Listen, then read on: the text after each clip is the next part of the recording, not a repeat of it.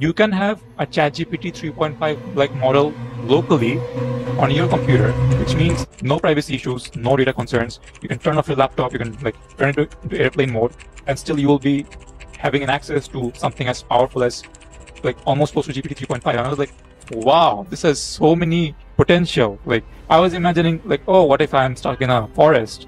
I don't have anything access, but I will still have this hmm. amazing AI with myself that can use the world's data and give me the best possible solutions to help me come out of this, right? Oh yeah, like get out of the forest, right? Yeah, yeah, yeah. Get out of the because you know what if there's no internet connection? What if yeah. you know an evil entity who blocked out the internet? You will still have the laptop, and most likely you might have the electricity. I hope so. So you just need a thing, one of the um, technologies that's enabling people to do this, to distribute AI is from a company that nobody expected that would allow us. Because that company had like a very negative reputation about people's data. They the people thought that they're only self-centered they only want profit they are ripping people off. And that surprising company is facebook or meta. They made the Ollama platform which makes it super duper easy to you know run llms locally they're also making super powerful LLMs themselves and giving it for free, like away. Just like that, the models that are like that can be a competitor of GPT-4. So, how is Meta benefiting from giving all of this away for free? Oh, damn! Really good questions. I've been trying to figure this out myself. So, Mark Zuckerberg has talked a couple times about Ashvin Praveen, the founder of Cleve.ai, a tool that helps you go from idea to posting. And has over 2,000 users. What do you think about Mark Zuckerberg's new look? His new style? You know, people are saying yeah. that AI is becoming more human and so is Mark Zuckerberg. So is there a conspiracy theory there? You never know. it's me and AI generators. Oh, dang. Human knowledge. oh, oh my god.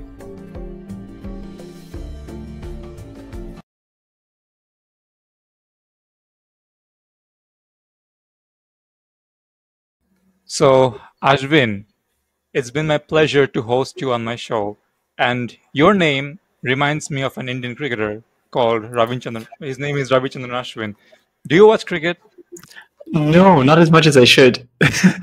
oh, so like, like, do you follow cricket?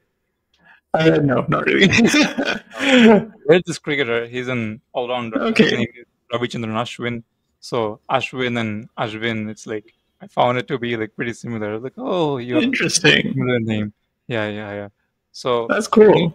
Cricket in uh, in this region is a big sport. So like people like there are national teams here who compete against each other, and you know, is the is the national teams are like superstars here. Like people idealize the cricketers and things like that. So in in that sense, I know quite a lot of bit about Indian cricket and their players and things like that. Oh wow! I think many Indians also live in Malaysia, and I remember that I went to like a Malaysian market, and I all I could see is Bollywood, Shah Rukh Khan, Hindi music playing in the markets. So I I got the vibe that okay, this place is like dominated by the Indians. yeah, I think the population's about twenty percent or fifteen percent Indians, um, and the reason for that was like I guess in the British periods we had a lot of um, like the migration happening from India and China, uh, led by the British. So uh, yeah, they're, they're, I guess the, the population kind of grew quite a bit. Yeah, and Malaysia overall, I think it's a very peaceful country, so people like living there as well. Hmm. You have been someone with an engineering background and you have very fantastic A level results like in chemistry and physics and things like that. And you're you were proceeding with studying engineering, right? And then suddenly the AI wave came and the generative AI wave came and you decided to transition into entrepreneurship.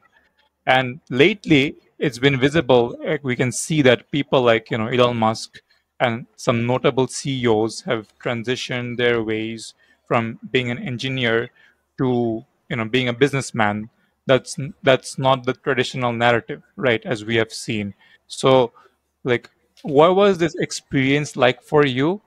And what were what was what were some of your hardest moments since you transitioned from engineering background to entrepreneurship? Hmm. I think yeah, it, it is true that like I think there's a lot of skill sets that engineering does give you, which are helpful when you're fig- figuring out startups or st- figuring out running a business and stuff. There are lots of things that I think people who have that business background um, are more like mentally wired uh, or trained to do. Like I think with engineering, you you have a, a, habit of just focusing on the problems and then like just trying to build solutions better and better. Um, but with the business case, a lot of the times you don't need the best, the perfect solution. You just need something that's good enough to get your first few customers, drive revenue, and then continue scaling. So I think there's a lot of those kinds of mental shifts um, where it can't be purely product focused uh, when you're doing like just taking it like an engineering problem, right? Um, and then I think the other, I mean, for me personally, the the whole transition, it wasn't really that sudden. Like I didn't. I guess I, I finished studying about two years ago, and then uh, I've been building another business first, uh, which was actually a, a, personal branding agency. So during the time, I think that's where I picked up a lot of the marketing skills. But what really drove me to do it in the first place was when I was 22 and I was graduating. I felt like okay, I've got my whole life ahead of me. Um, I could go down the engineering path and like take the safer path. I mean, I've I've got the grades for it. I've got the extracurriculars for it. I could probably get a job um, at some engineering company, and then I would do that for like a bunch of years. Um, or uh, I could do the path that is more risky and more crazy. And you know, at 22, I guess I felt I felt like you know why not? Like it's it's the time of your life to kind of experiment and do crazy things. Um, you don't have too much liabilities and and like things are a lot more. I guess things are a lot more free and easy to manage. So I didn't have a house loan to pay off, and I was quite fortunate in that sense. Um, but yeah, it's a, it's a time in my life that I felt like you know it's it's a time to do crazy things. So, like, do you think leadership is a born quality or it's something that you can develop over time? Yeah, it's definitely something you can develop over time. I think if you break down leadership into um, the components that leadership contains, it's more about like empathizing with you, the people that you're, you know, that you you have a team with. Um, it's about yeah, being able to hold like hold a vision, um, bring people towards rally people towards that vision being able to be persuasive. Um, there's lots of these kind of little components that makes up a great leader and then no two leaders are the same either. So i feel like yeah it is definitely something that you can hone and learn over time. Hmm. you're you're involved currently with, with cleve.ai and, and it's growing and you mentioned that you also had previous organizations. So you're familiar with startups and I have heard that most of the startups fail because it's just very hard to get that breakthrough right. So so th- this means that this period is a very very hard period especially for the entrepreneur who started the business because you don't get in support. There are lack of people who want to work with you unless your idea is very much innovative and great. So like as a startup founder what has been your hardest moment till now? Hmm Mm, I think it's true that um, starting like uh, many startups fail and stuff, uh, and there's there's really no guarantee of success and stuff like either way.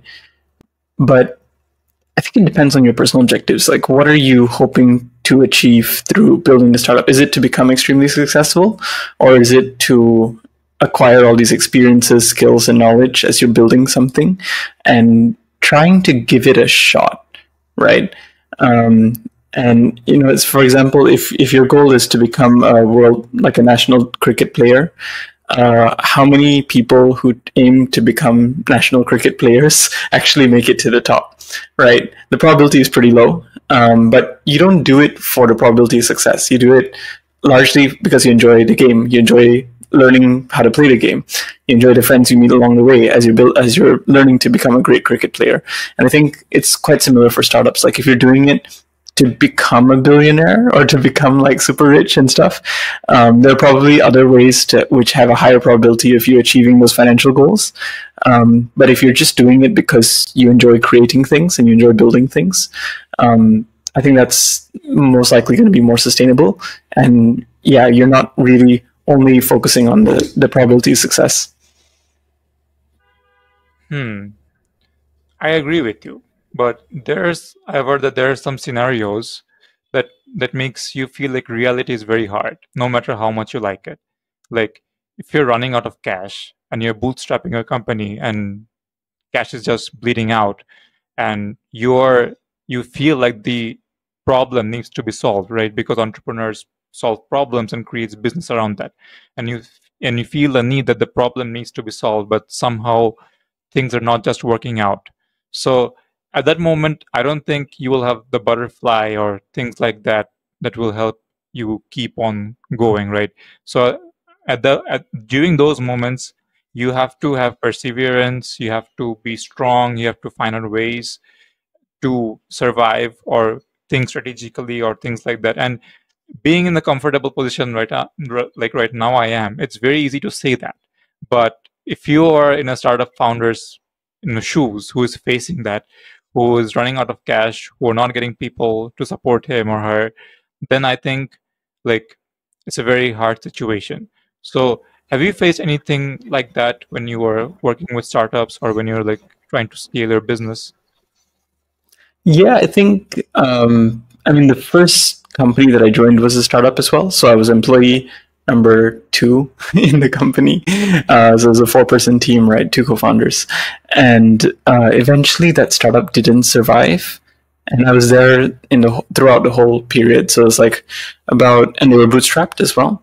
So it was about a year from just starting out, getting your first 10,000 users, 20,000 users, 25,000. Um, and then at the end, when things were like, yeah, basically market was changing. There was some external pressure and stuff that eventually led to the startup being shut down. Um, and that was actually my first job where I actually got retrenched, right? So um, yeah, so so the experience is tough and it's difficult when you know there's always going to be things that you can't control. Um, and in this case, external market pressure, no matter how hard you work, um, and no matter how you try so many different strategies, but things just aren't uh, able to kind of pivot in time, right? You run out of that time. So yeah, I think I think there are those challenges, and it can be really intense. I don't think it's uh, yeah, it's definitely not butterflies all the time and sunshine. Um, I, I, think most of the day to day, even in my current startup as well, is about like, okay, where are the fires at right now? What can we put out far first? Um, how do we manage these kinds of scenarios and situations and like just build better?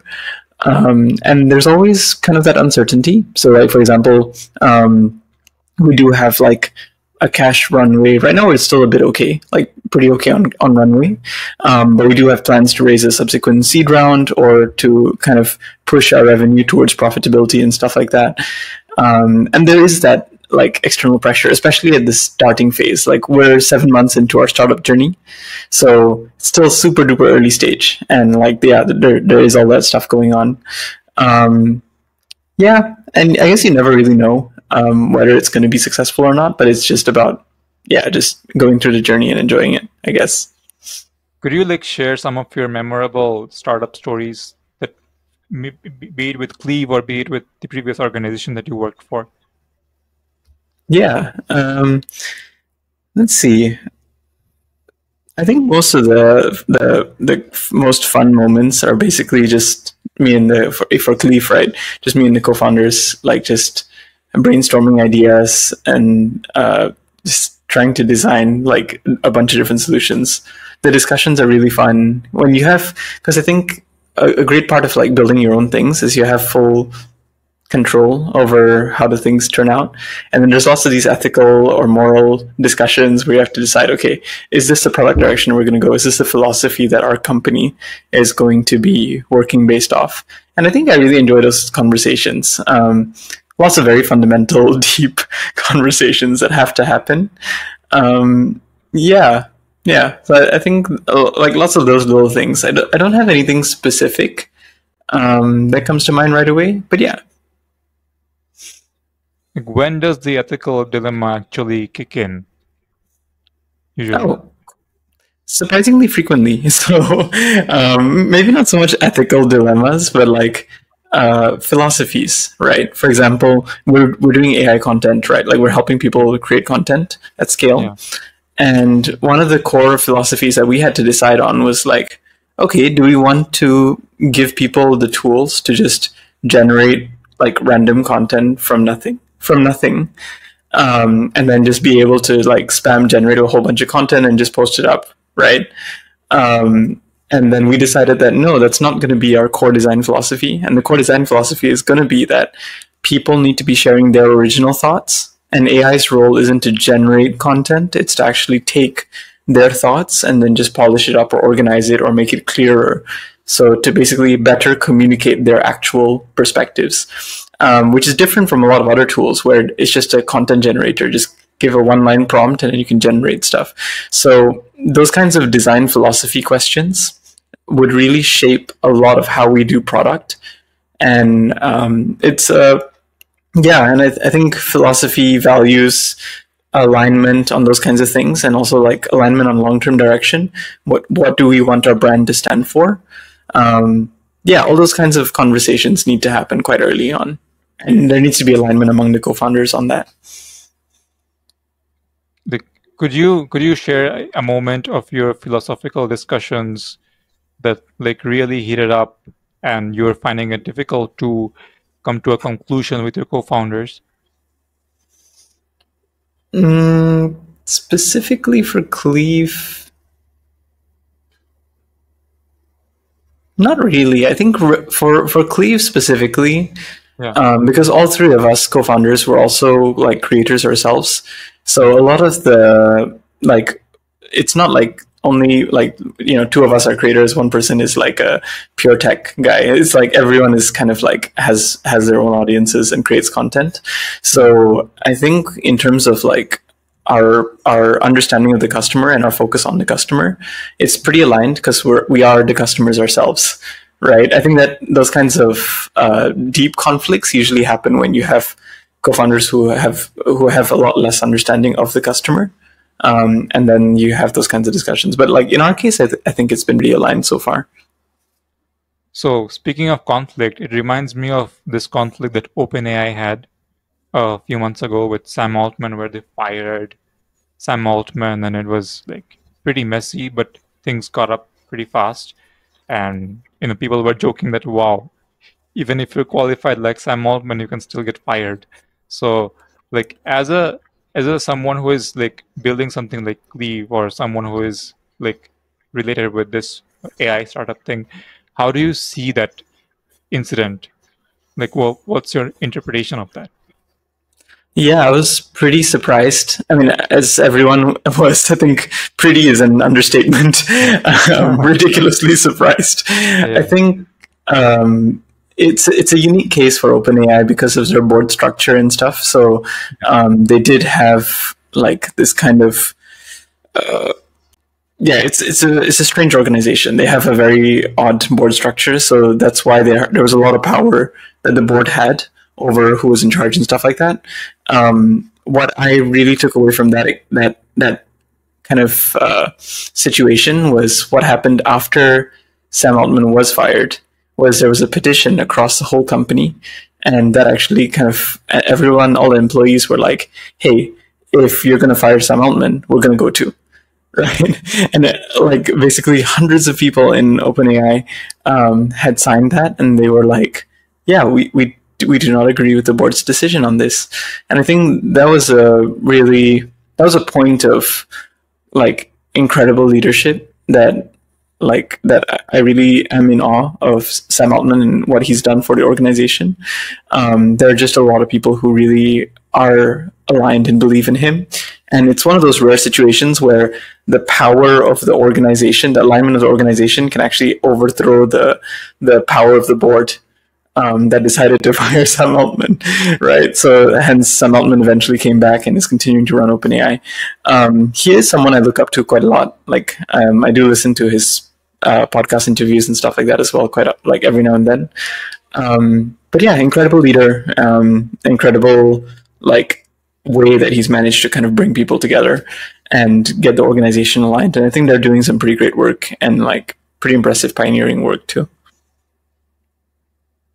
If you are trying to build something big and something impactful, it's important that you can like attract like intelligent people and also not only attract but but also maintain them right? So if you are building something as powerful as an llm or you are like cutting edge firm who are developing these technologies you have to have that ability as the ceo or as the head right?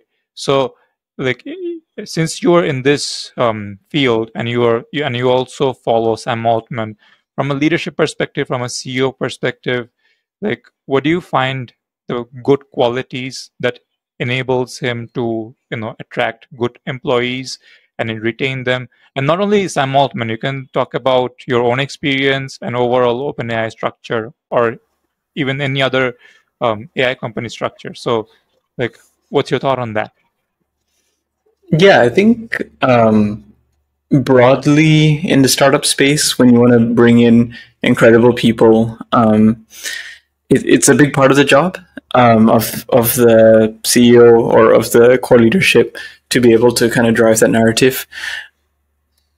I think fundamentally it's about trust and how you are able to kind of sell the vision, but also um, get the right people who are aligned with building that vision to build with you. Right. Uh, one one quick story is like I guess when when we started, right, one of our the earliest things that we needed to do is recruit our tech co-founder, right?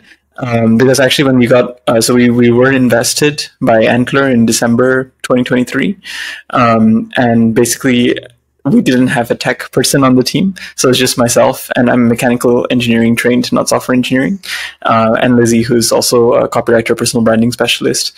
So the two of us were more marketing or business oriented, and we needed to find a tech co-founder. Right. Um, over the next, the following two months, it was a lot of like reaching out to a bunch of people, um, sharing the vision, posting about it as well, and communicating. Okay, here's what we're trying to build um, with generative AI, and also like uh, this is the kind of philosophy that we believe in, and what and what we're trying to achieve in the world. And I think if you have a big vision and a big goal, um, and you also kind of communicate who you are as a person. Um, I, I, guess like those were some of the reasons. So like as we were posting a lot, we were getting a lot of inquiries of people who were like interested in becoming a CTO um, and a CTO co-founder with Cleve. Um, and eventually Rashad, our CTO, saw one of uh, my posts on LinkedIn. Reached out we met up at an event and then like things like we, we worked on a quick project together and like things seemed to hit off. Um, so yeah and, and he's like an exceptional talent. I would have not ever imagined um, having him on board as on the team as well right?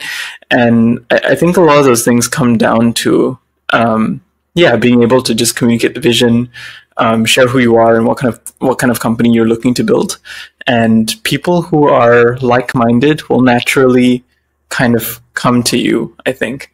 Um, yeah, and of course, there's going to be a, a, fair bit of like um, being persuasive, but also just communicating what you're trying to achieve here. Yeah. I think it's equally important. Like it's very important for companies to you know be able to hire the right kind of people because there will be a lot of people like who will just do the job for their sake of their own livelihood and things like that.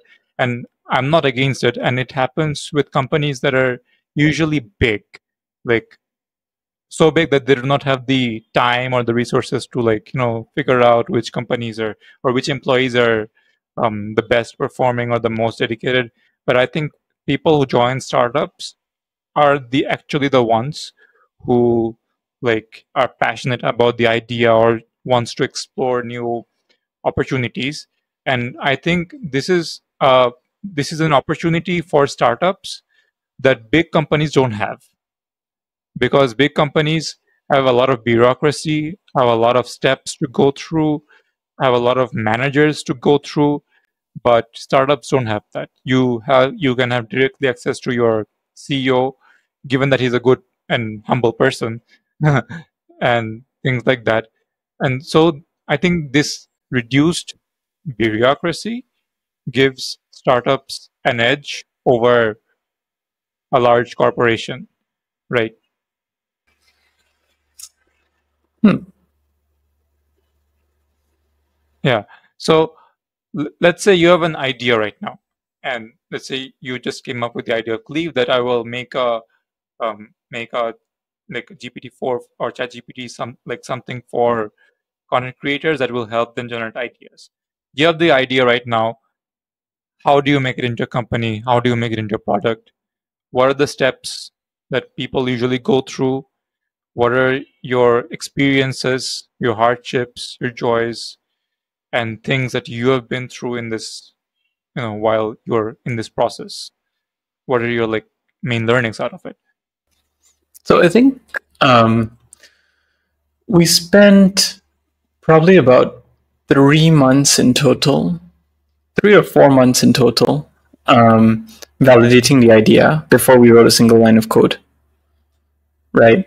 Um, I think a lot of the times, like when you have an idea, like especially for engineers right the first thing you would think of doing is like okay let's start building it. Or for people who are non-technical um, okay the first thing i need to do is find someone technical to build this uh, so that i can test it right? There's a lot of ways to test your idea without needing to like create the product first right and a couple of the methods that we used was number one just build a landing page create mockups in Figma and then just like, or even in Canva if you want. Um, and yeah, just make a bunch of mockups, uh, state the promise, and then see how many people are interested, even you know, just to sign up for a wait list for this idea. And you can do this with multiple ideas and like, um, yeah, share it with a whole bunch of people, see how many people would be interested in signing up. Right. Um, of course, this doesn't like 100% guarantee that okay all these people would be willing to pay for it but it does give you a bit of an indication that at least there is some interest in people wanting to solve this problem right. And you don't even need to do such a fancy landing page. I think our first one was built in a day on wix. And basically yeah you can you can use that to very quickly just send it out to a bunch of people post it on your socials um, try to pitch it and see if if people are interested. If not like if yes great. Like move on to next step try to get more validation um, maybe do some customer interviews and all that kind of stuff. Um, but if not then it's okay. Like like don't hold on to your ideas too closely um, focus on the problem and then see are there other ways to solve that problem or are there other problems that you want to try solving right so i think for me personally i went through about 30 different ideas before choosing cleve as a as an idea, and all those thirty ideas, basically, I would try to validate them, throw it against walls, and see if it sticks. Right. So I think, um, yeah, like it, like try to go into that mode of like keeping a book or a Notion doc, in my case, of ideas that like business ideas, right? And then as you kind of do the market research, as you try to do validation, if, try to see if there's an equivalent company somewhere in some other market, um, that's where you kind of start to get initial validation, and then you try sh- showing it to customers to get more validation, right? Uh, whether this is something that you should build or not. Because the worst thing you want to do is start building an idea which is very expensive. Like the building process is expensive because it takes your time, right? Um, and it's and you'd have to kind of scrap all that effort if the if you're building in the wrong direction.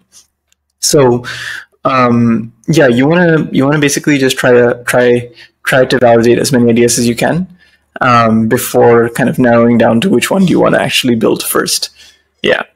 Um, so yeah, I guess even I guess that's the initial phase and that's the biggest takeaway I had from there.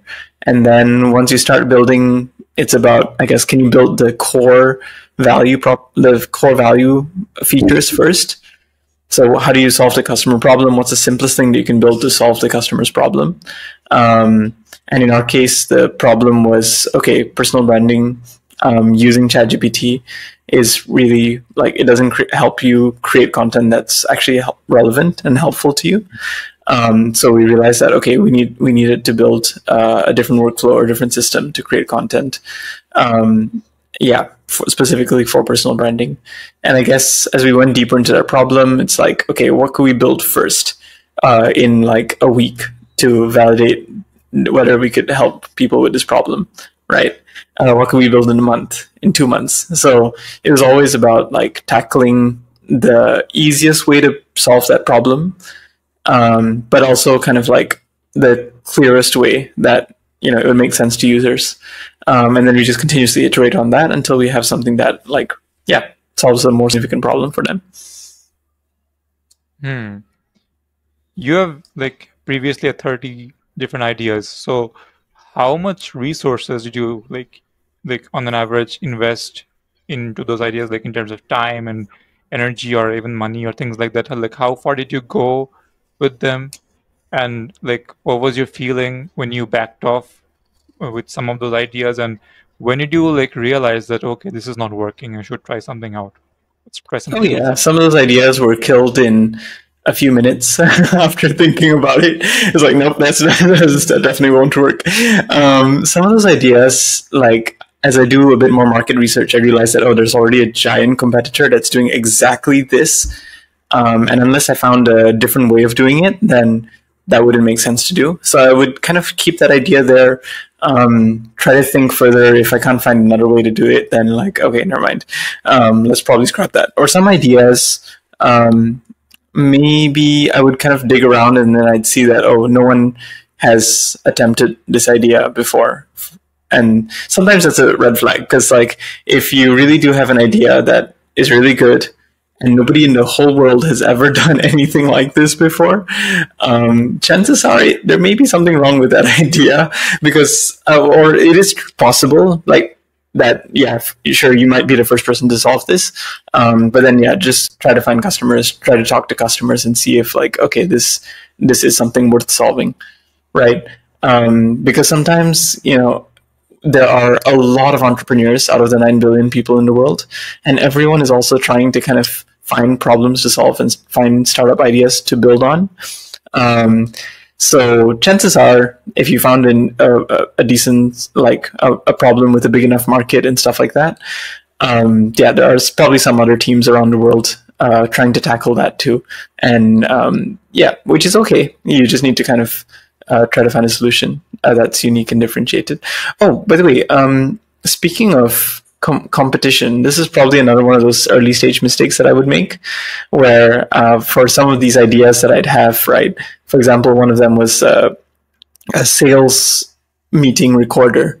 So it records your sales your sales reps calls in a business, and then it transcribes it, and then it looks for patterns in those transcriptions to give insights to the sales uh, people, right?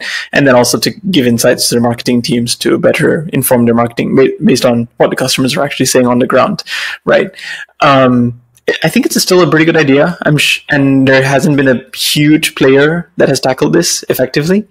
Um, but yeah, there were there were other reasons that. Oh, sorry. So yeah, there, there were other reasons that we decided to kill that one. Where, for example, in our case, we didn't have that much experience working with B2B sales teams uh, and marketing teams. And compared to our unique expertise in personal branding, it probably made more sense to pursue something in that direction, in that space instead. So also try to look at your own experiences or your own interests, um, or the things that you've been just naturally learning about. And then try to see, okay, is there something that you could build that's aligned with that? Because you you're probably going to be better at that than other people who would tackle that same idea. Yeah. Hmm. I think it would be it would the product that you've talked about, like sales recording and transcription. I think it would have a broader market if you target students and not mm. like salesperson, because students like these days they try to like like to take pictures, they like to record their audios and things like that. And I can I can like talk about some of the struggles um, as a student myself. Like i have noticed that one of the struggles is when you try to record a class and like transcribe things is to get is getting the like right amount of good quality audio. Like you know in class there's a lot of noise people come people speak things like that. So uh, like a phone's normal recorder usually like do not play a good role here.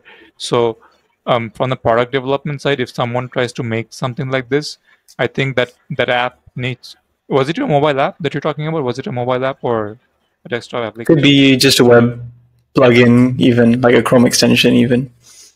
okay so how do you like plan to record the meeting then using a chrome extension I mean, there's lots of like Otter AI, TLDV. There are lots of companies that do that.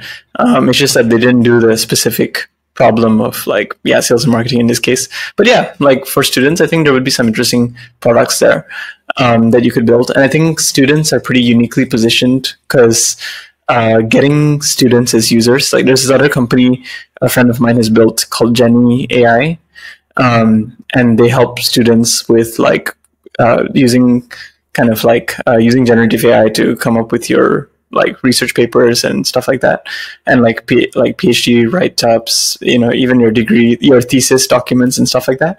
So it basically um, does citations. It does so it, it generates text, but also generates the citations for those texts, and it references um, the actual research papers and stuff like that. So it's kind of like a specialized um, like ChatGPT in a way um, for the workflows of students.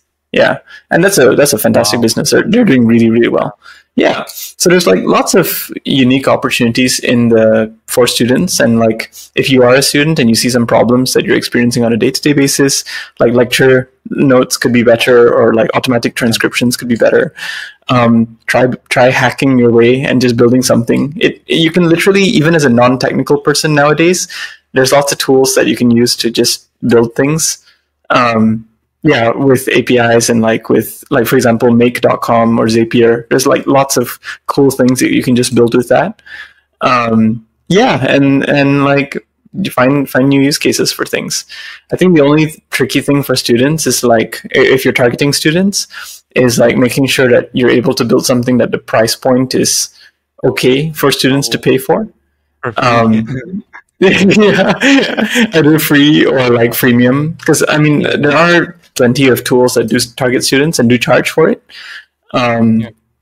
yeah. or you know, you can always target the university. So, for example, what I might imagine is uh, a lecture recording software for all your lectures, where you know you also get the summaries of each of the lectures and the key points, and you can just click on that and jump to that specific section on the lecture might be a cool like feature for universities to to sign up for so that all their students have access to that and then the university would be able to pay so like lots of ideas exist i think once you once you start finding startup ideas there's like a lot of startup ideas out there it's about picking which one you want to work on yeah a lot of interesting points that I can elaborate on.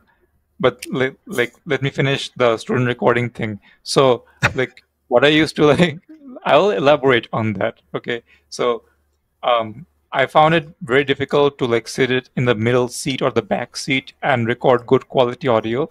So what I had to do is I had to sit in the front space to you know get the most out of the teacher's voice and things like that. And when I like tried to transcribe it, I found it that it's not that easy, especially when you know there's a bit of crowd in there and people are like interjecting your like interrupting the teacher and and things like that. So some kind of manual transcription was needed. And at that moment, I found out that in in your ChatGPT's mobile app, I found the transcription to be like the most accurate um, because Oh, they yeah? use this, they use this whisper, whisper model and things like Yeah. that.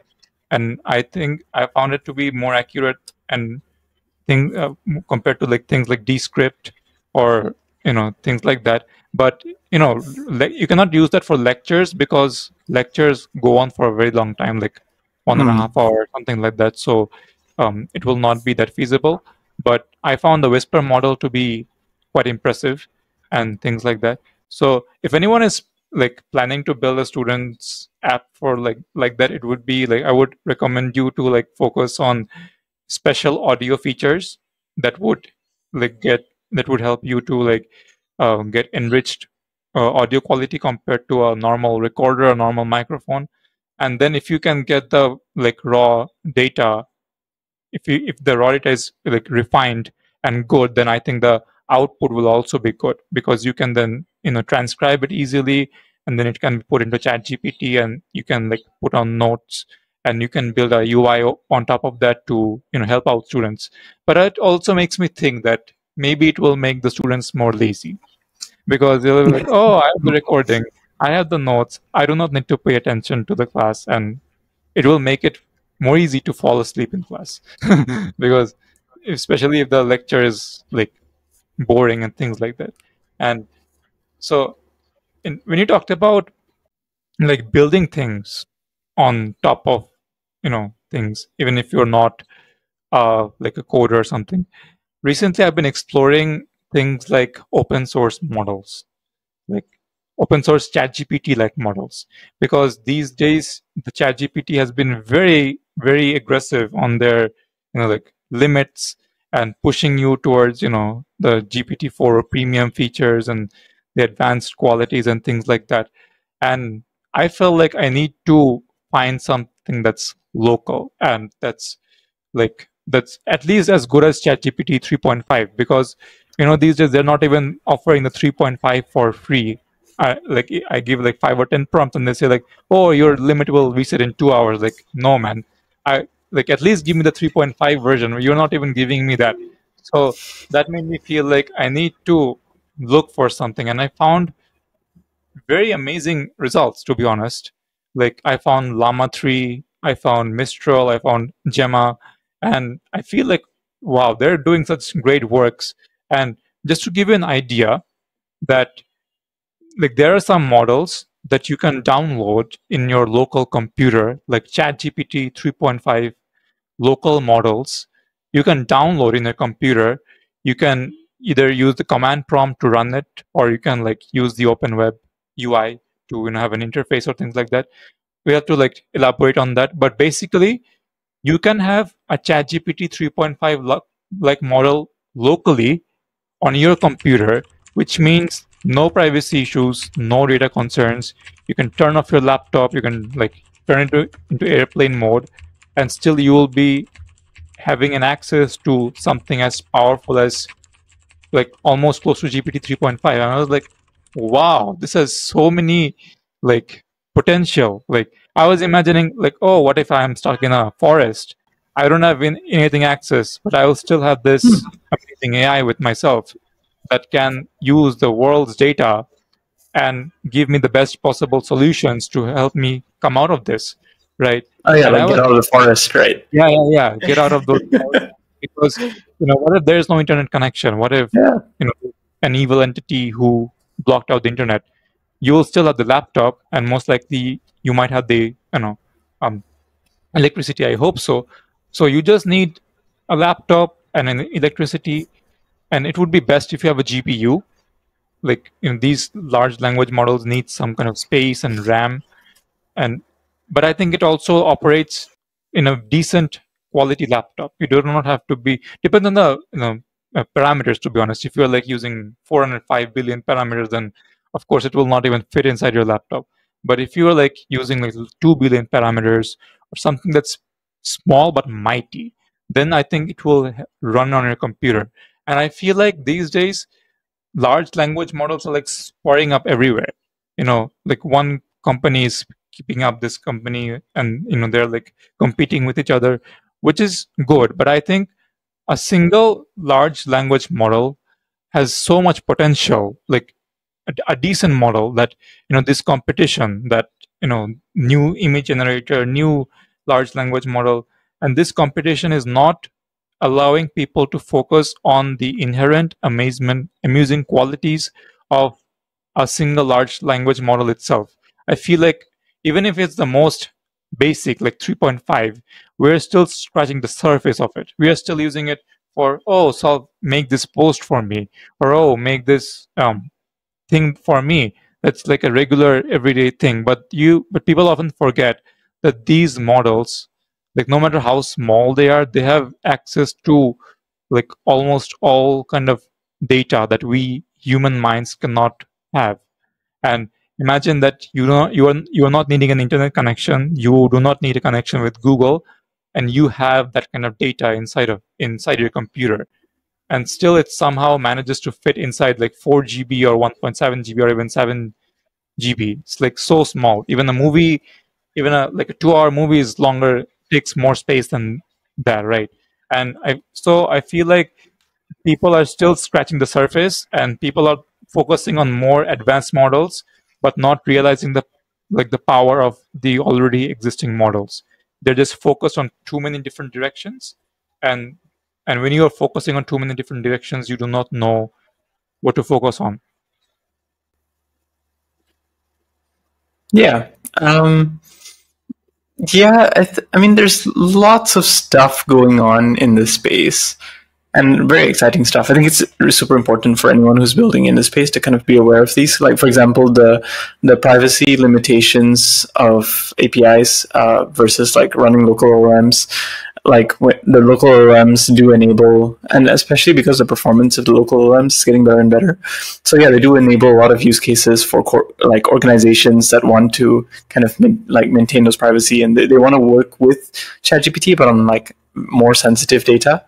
For example, um, running uh, like running an LLM to help people who are coding for the Indian military or the yeah like like the the, the military of the militaries of the world, right? yeah, super super duper sensitive data, and you definitely don't want your code to be uploaded to like any third party really. So like yeah, that's that's there's definitely like lots of opportunities there. Um, but yeah, I think at the end of the day, like like pay attention to what the technology is capable of doing. Um, look at real world problems, like for example, your problem your problem of recording uh, lectures and like getting lecture notes out of it, for example, summarizing those lectures. Um, like yeah, focus on those real world, world problems. Look at all the potential tools that you have. Like every big LLM, every small LLM, like you know, they're all just tools in your toolbox for you to actually solve those problems, right? So I would say stay focused on the problem and then like um, try try testing out a, diff- a, few different tools and then see which one actually does address those needs um, of those problems, right? Um, yeah. So I, I wouldn't say like in order to build in the AI space, you need to understand everything though, because that the knowledge in the space is just growing every day. Especially if you're a business co-founder or you're trying to build things like build products that people will use, um, you can still build lots of great products um, on top of some of these really huge models on the cloud.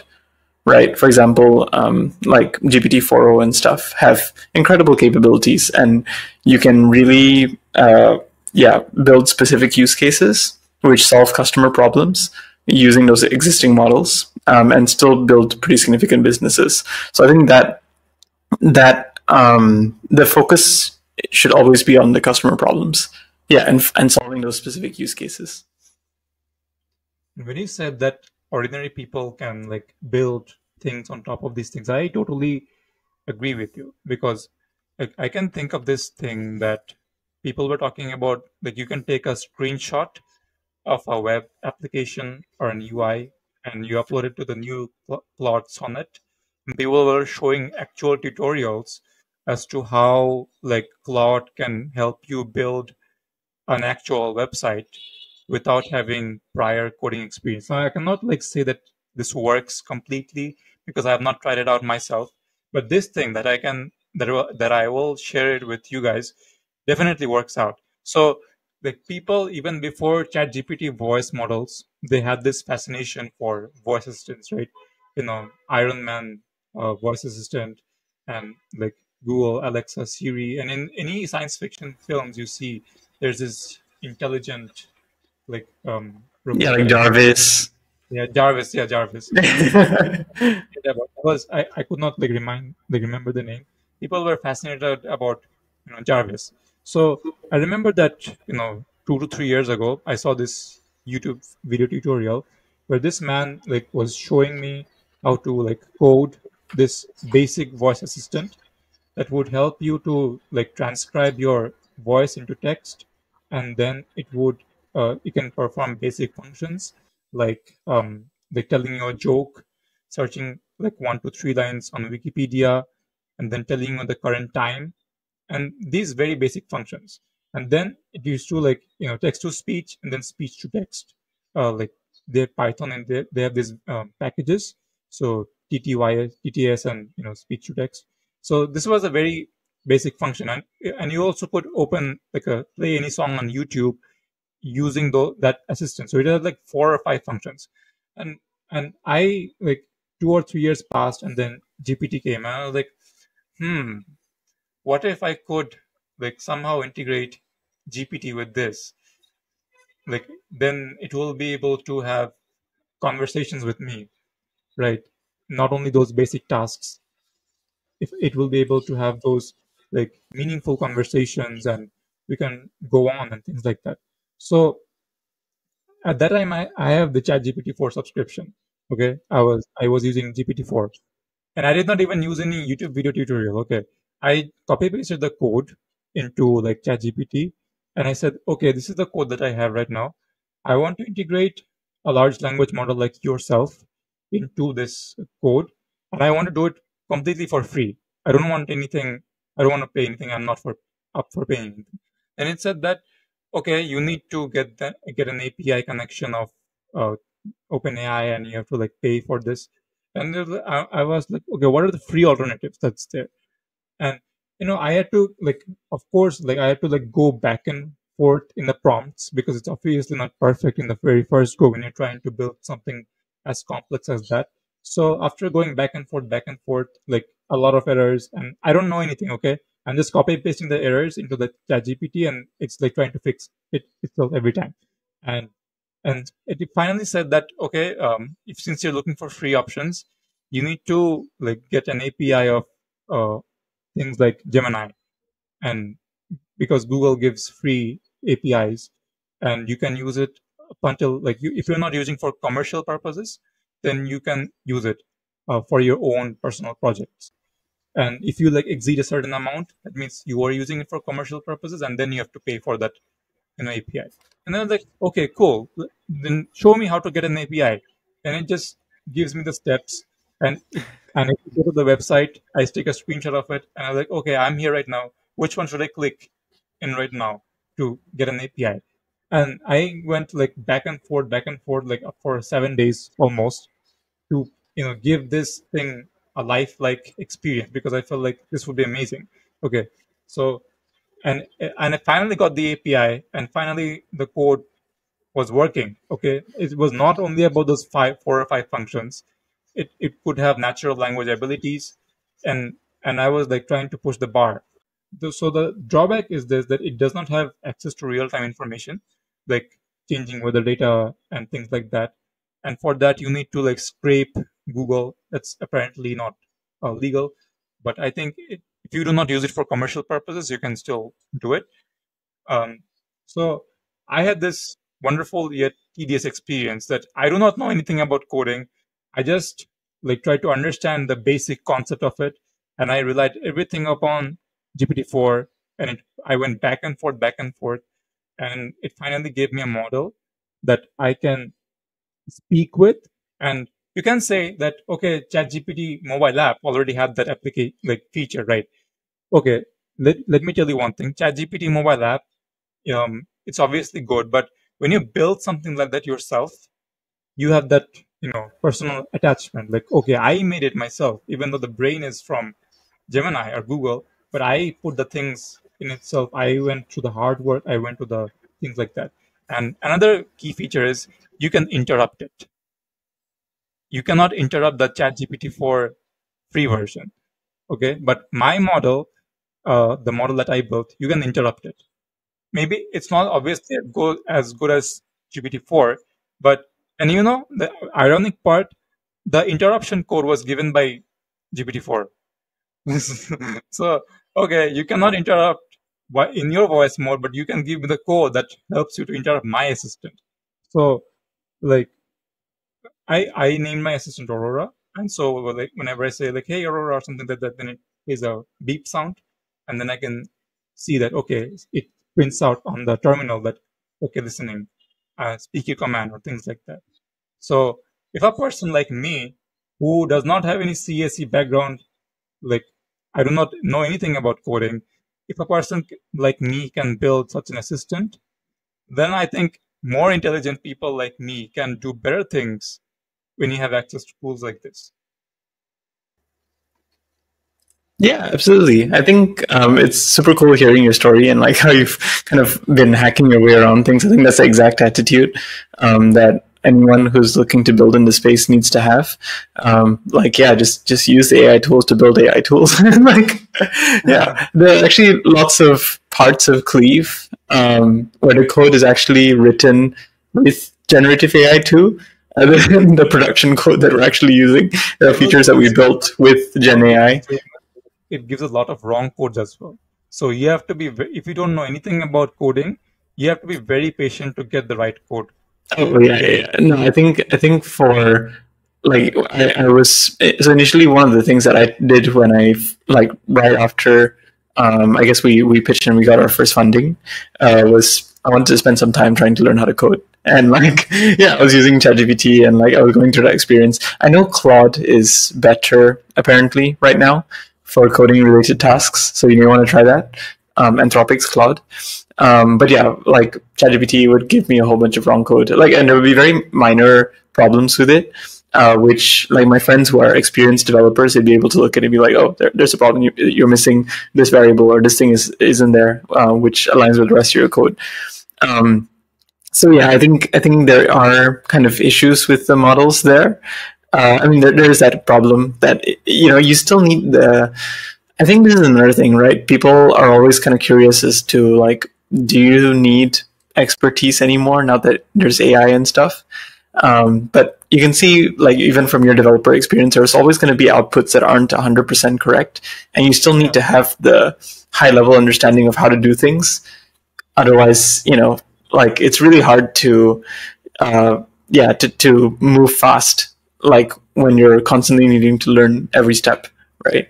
So I think the the role of expertise, even for me as a like like one of my skills, I guess, is like copywriting. Um, and one of the things that you know AI is supposed to be really good at is copywriting, right? But there's actually like as someone who's more, slightly more experienced in copywriting when i look at the copies that the ai has produced um, out of five copies maybe one is kind of there and then i would still like edit it from there and like find ways to improve it.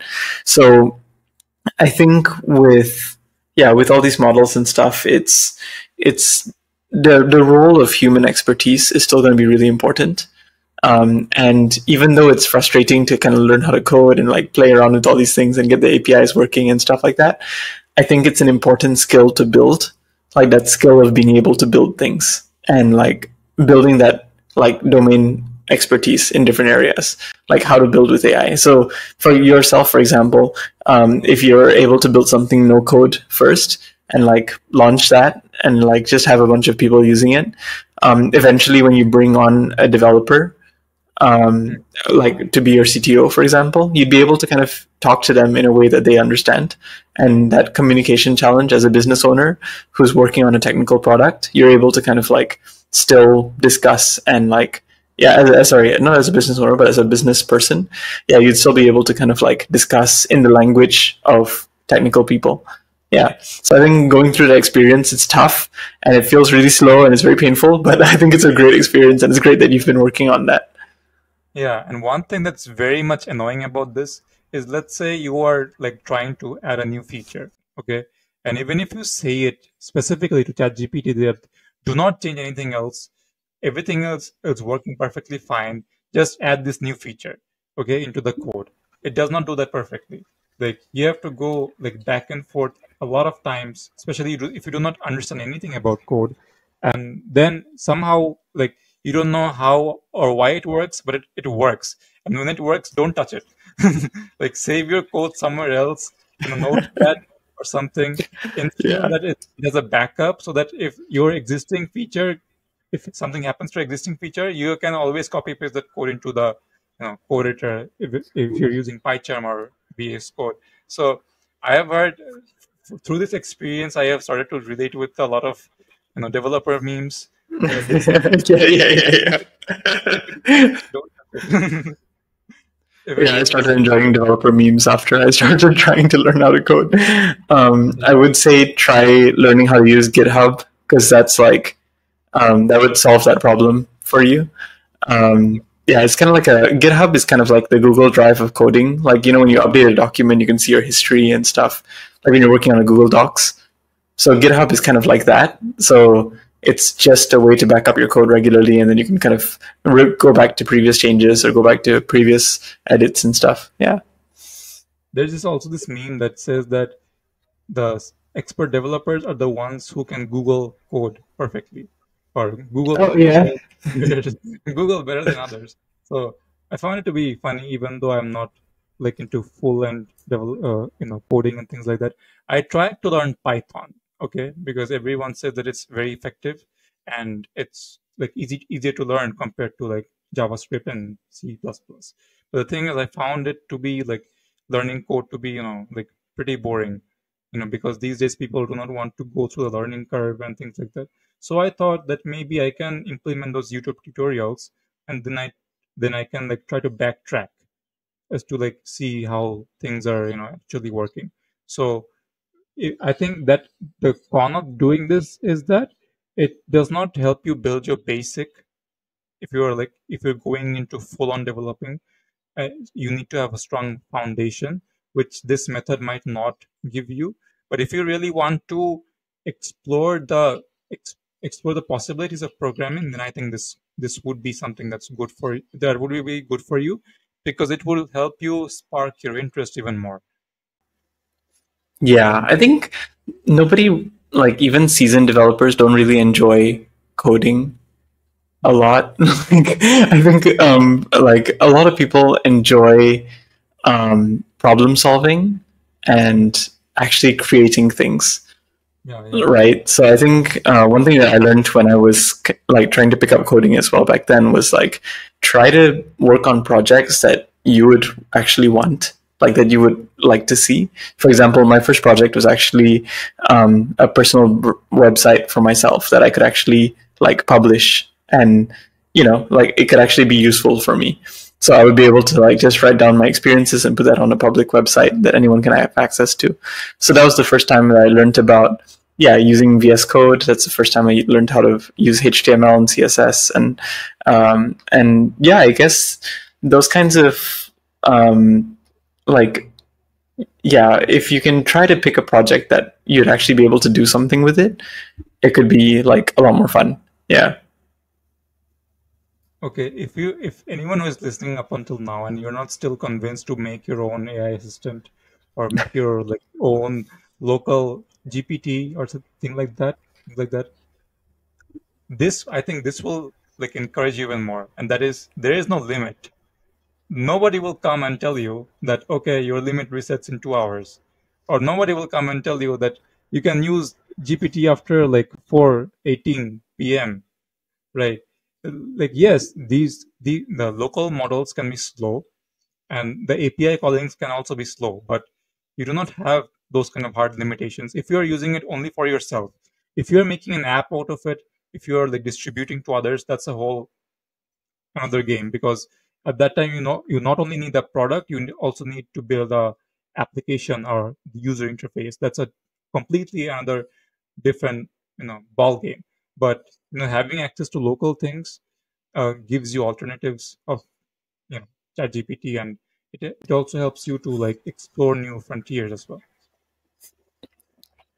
One other tip by the way is uh, if you don't want to pay for GPT-4o on subscription, like the twenty dollars a month thing, um, you can just go to OpenAI's Playground and then use the model on a pay-per-use basis as well. So basically, it's like once like one point one cent or something for every like few characters or something. Like you can check the pricing and stuff. It's actually like really cheap. So unless you're using GPT-4o, uh, like using the OpenAI models very regularly, um, it may like you can actually just use it for like super duper duper cheap on the playground. Yeah. So it's a bit of a life. Hack. Yeah, oh yeah, it's a very good. That's a very good hack. Um, I think people who are like really into it should like try it out. Um, and the links will be given somewhere, or you can just search it up, you know.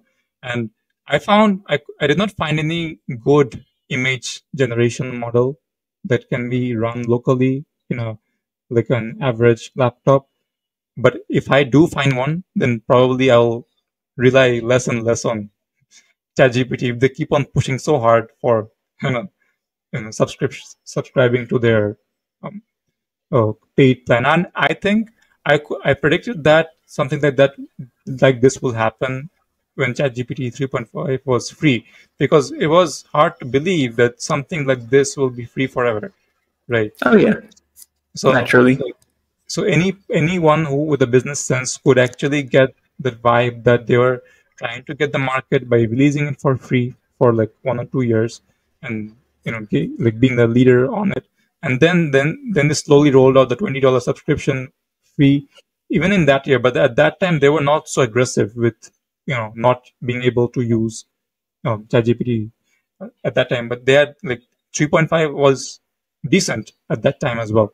But now they're not like allowing you like they used to at least in my in my region in my you know, experience. So if i get uh you know good quality small image text to image like local host thing local LLM, then I think I'll rely less and less on like ChatGPT four or something like that four. So one of the one of the thing one of the um, technologies that's enabling people to do this to distribute AI is from a company that nobody expected that would allow us because that company had like a very negative reputation about people's data they like people thought that they're only self-centered they only want profit they are ripping people off. And that surprising company is facebook or meta. Like they're giving like oh they made the Ollama platform which makes it super duper easy to you know run you know llms locally. They're also making super powerful llms themselves and giving it for free like away. Like just like that. the models that are like that can be a competitor of gpt-4 so like i have two questions about this okay um, why is the logo of Ollama like a of a lamb or a sheep or something like that? Like, why did they choose why did they choose this name and the, and that logo? And second of all, it's a more business perspective from uh, Meta's perspective.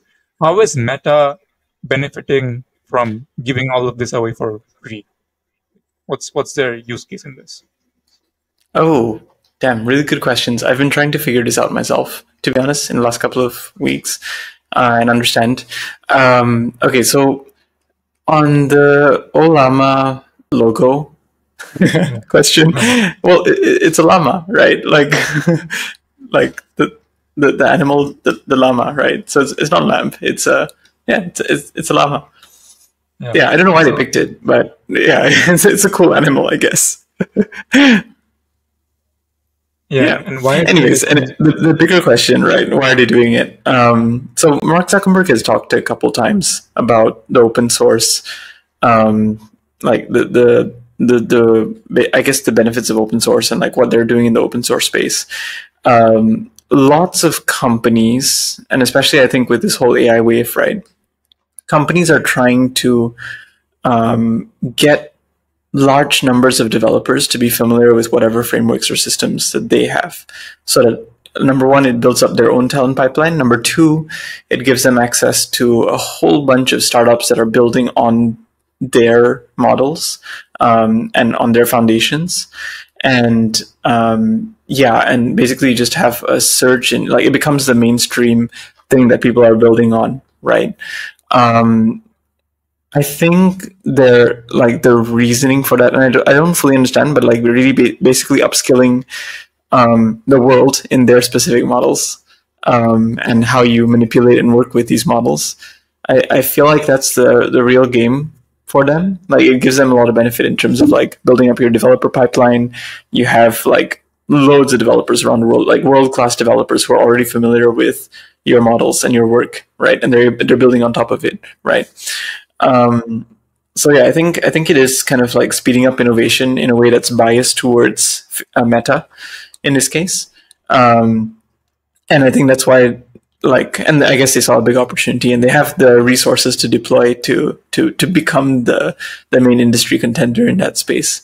So yeah, I think I think that's like I, I don't fully understand it until today, to be honest. So I'm still kind of trying to look for that answer um, and to to understand it better. Um, like what are the specific benefits that that Meta gets from open sourcing? But yeah, I think it's interesting. It's it, it's it's it was quite surprising to me um, that they were doing it. Um, yeah. What do you think about Mark Zuckerberg's new look? His new style. You know, people are saying Yeah. that AI is becoming more human, and so is Mark Zuckerberg. So, is there a conspiracy theory there? You never know. I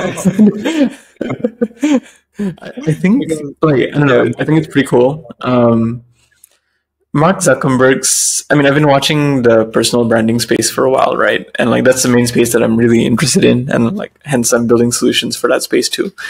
And my God, like his personal brand, like the the way he's kind of just really taken it or turned it around um, from being the evil overlord who's trying to kind of like destroy society and civilization to becoming this like super hip cool guy who's on everyone's podcast and is like um, sharing parts of his life like his yeah the chains. Uh, like he's he's appearing as someone who's just like you and me. Um, Yeah. Yeah and i guess previously those memes about like him being from a different planet and like like being very robotic and yeah like here to take over the world. I, I think yeah it's it's interesting kind of seeing him uh very put a very clear effort in becoming like more relatable and human and like winning the public's perception over. Um it's a it's a huge like PR, like incredibly effective PR um, thing that he's been doing there. Um, and apparently he's been running everything himself, surprisingly. Like he's the one who's been like coming up with the content and all that stuff, according to some of his interviews. So yeah, interesting. Like pretty pretty interesting stuff. But yeah, he's definitely coming off as a lot more relatable, a lot more human, and doing things in the interest of public good and stuff. And I guess those are the things that you need to do, especially because Meta is like such a huge public listed company. Um, but yeah, I guess still, um, I don't know. My opinion on Meta in general, mm, like I think it's it's always important to just take all these things with a pinch of salt and just always be critical as a general human being, um, and like be critical of the initiatives that they're doing and like yeah, as a business and like how that's going to play a role in tomorrow's world. I think it has a, a like there is this came up like right now when I was thinking about this, and this is like when I think this can be also a move to like uh, overshadow Meta's shift from being Facebook to Meta, the failure that Meta went through when they had to shift their focus from being a social network to being a metaverse network. Because when they shifted, like nobody was actually buying their Quest. Like people were like, and even the people who bought the Quest, they were um, they were reporting harassment issues in inside the metaverse, and like people were not like buying into it. And even though I've heard that brands are buying like metaverse assets inside like assets inside the metaverse this would be very hard to like explain to our parents or someone who is like older like why would you need to buy something inside a digital know uh, uh, arena or things like that. So i think this can also be a move to shifts people's perception from this to something more positive because how people perceive a company has an effect on your stock market price. And the stock market price has an effect on your investors perception and companies Yeah. valuation and, your, and even your own net worth as well. So what do you think about that Yeah, definitely. Um, I think with Meta's, I mean, with the metaverse, it was a big bet. Um, I feel like it was kind of funny after Af- Apple Vision came out, and Yeah. like everyone started to be like, "Oh my gosh, this is incredible!" But then, like, oh yeah, Meta's been pushing this for the last five years. Um, so yeah, I, I don't know. I, I think at some point we would all eventually get like quests and stuff. I, I have some friends who actually like really love their quests and they just they use it regularly and stuff. Um, yeah, and like I don't know. I think I think it'll make a comeback at some point. But yeah, it was it was a big bet. Um, and it didn't manage to capture market as quickly. But interestingly enough, after Vision Pro came out, the market kind of just changed, and I think that's kind of the strength that Apple has in the branding space, um, and that's what you that's what you're able to achieve when you have a really really strong brand. Like a lot of the things that Apple had are actually features that MetaQuest has had, but nobody knew about them because the brand and the marketing wasn't as strong. Um, whereas with Apple, whatever they release is like everyone's like, "Oh my god, this is gold!" Right?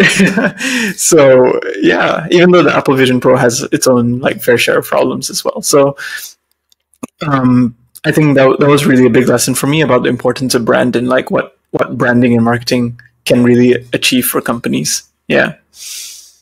From a branding and marketing um, perspective, could you like explain the rise of OpenAI, OpenAI through ChatGPT? Because in the, in in many of his podcasts, Sam Altman podcast, I have heard that GPT-2 model was not that good initially. Like it used to like it used to like get text and you know could make things up, but it was not that you know magical thing. And so they had to mm-hmm. like alter things a little bit more. And ChatGPT 3.5 came out and it just broke the market, right? So after like you know, the product itself was so good that it was marketing for itself, and I think th- that's one of the best ways of marketing is through like genuine word of mouth and things like that. But like Sam Altman after that moment or OpenAI also started to appear more into podcasts and more into like more interviews and more into those things. And they're like it could be seen that they're like strategically trying to market themselves with their own narrative. And before all this sam altman was only famous within the startup space. Like people who were into like y combinator and how to raise funds and, and people who only knew elon musk knew sam altman but now sam altman has his own kind of identity so from the branding and marketing perspective of OpenAI, as as you've said that you have an expertise on that as well, like could you explain the transition and why do the things, why do they do things that they do from an OpenAI perspective? Yeah, so I think, um, I mean, with the ChatGPT release, I think I mean there was a lot of significant improvements that helped, and you know the product did take off. Um, mm-hmm. I think a lot of people don't realize that OpenAI has been trying to build this for ten years. So even though you see the like, oh my god, that's incredible! Like they, they just hit a hundred thousand users, right? Um, it took them ten years of of development to get there. So it's not like they were actually and they were actually making growth, but it's just this, the hockey stick growth happened after the ChatGPT public release um, well, the academic release, right?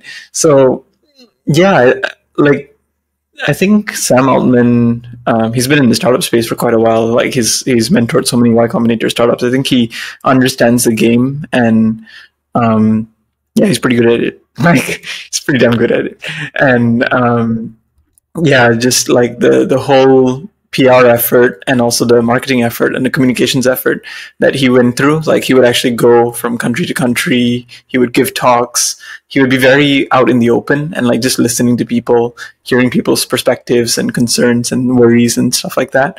Um, and yeah, I, I think it, it's a it's a it's a pretty strong approach for any anyone who wants to start a business. Like you can like try to take example from how he's putting things out there. He's his Twitter is like really active. He's constantly sharing his opinions and his thoughts and building that brand presence and becoming kind of like one of the main leading authorities in the AI space, right? Until today.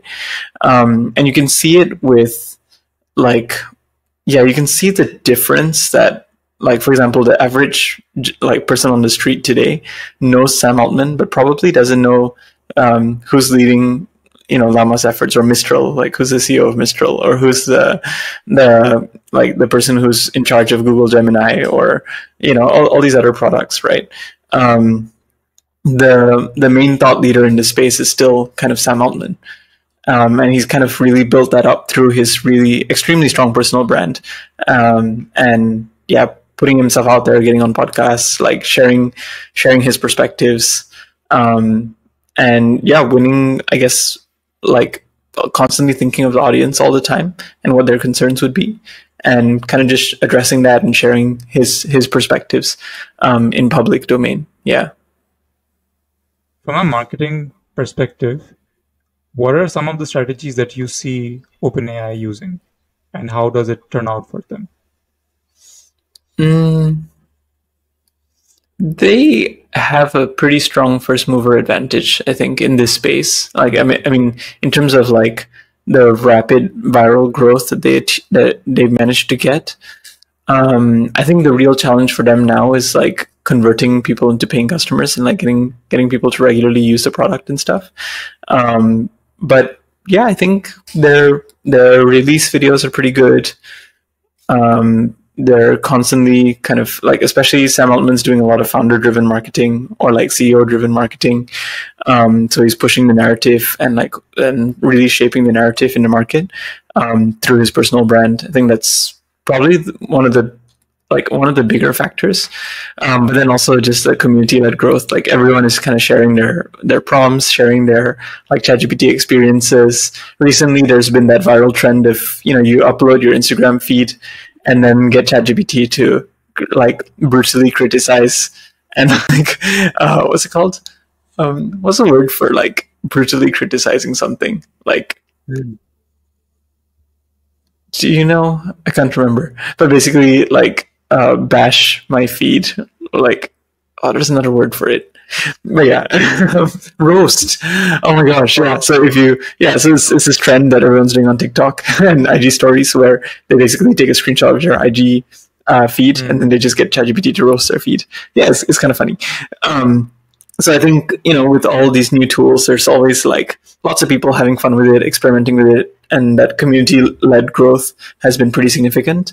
Um, mm yeah, and I think the, like overall the the the brand perception of OpenAI has been generally pretty strong. I think on the whole. So like yeah, they, they've been definitely controlling the narrative really well and like getting users to share and discuss things quite quite a lot. Hmm. Like, what's the logic behind making an amazing, like, product um, reveal like the GPT-4 voice mode, and then telling that it's coming soon, it's coming soon, it's coming soon, but it's been months and it's not coming soon. So, so what's the what's the marketing logic behind such things? Like, what's the logic behind using like endorsing Sal Khan and like showing such amazing videos and then delaying it and delaying it and delaying it? Like, why would it? Why would they do that? Why would they want to make us feel frustrated? yeah, um, I'm not entirely sure about that one. I'm like still really looking forward to the advanced voice mode features, especially the translation. That would that would be really cool.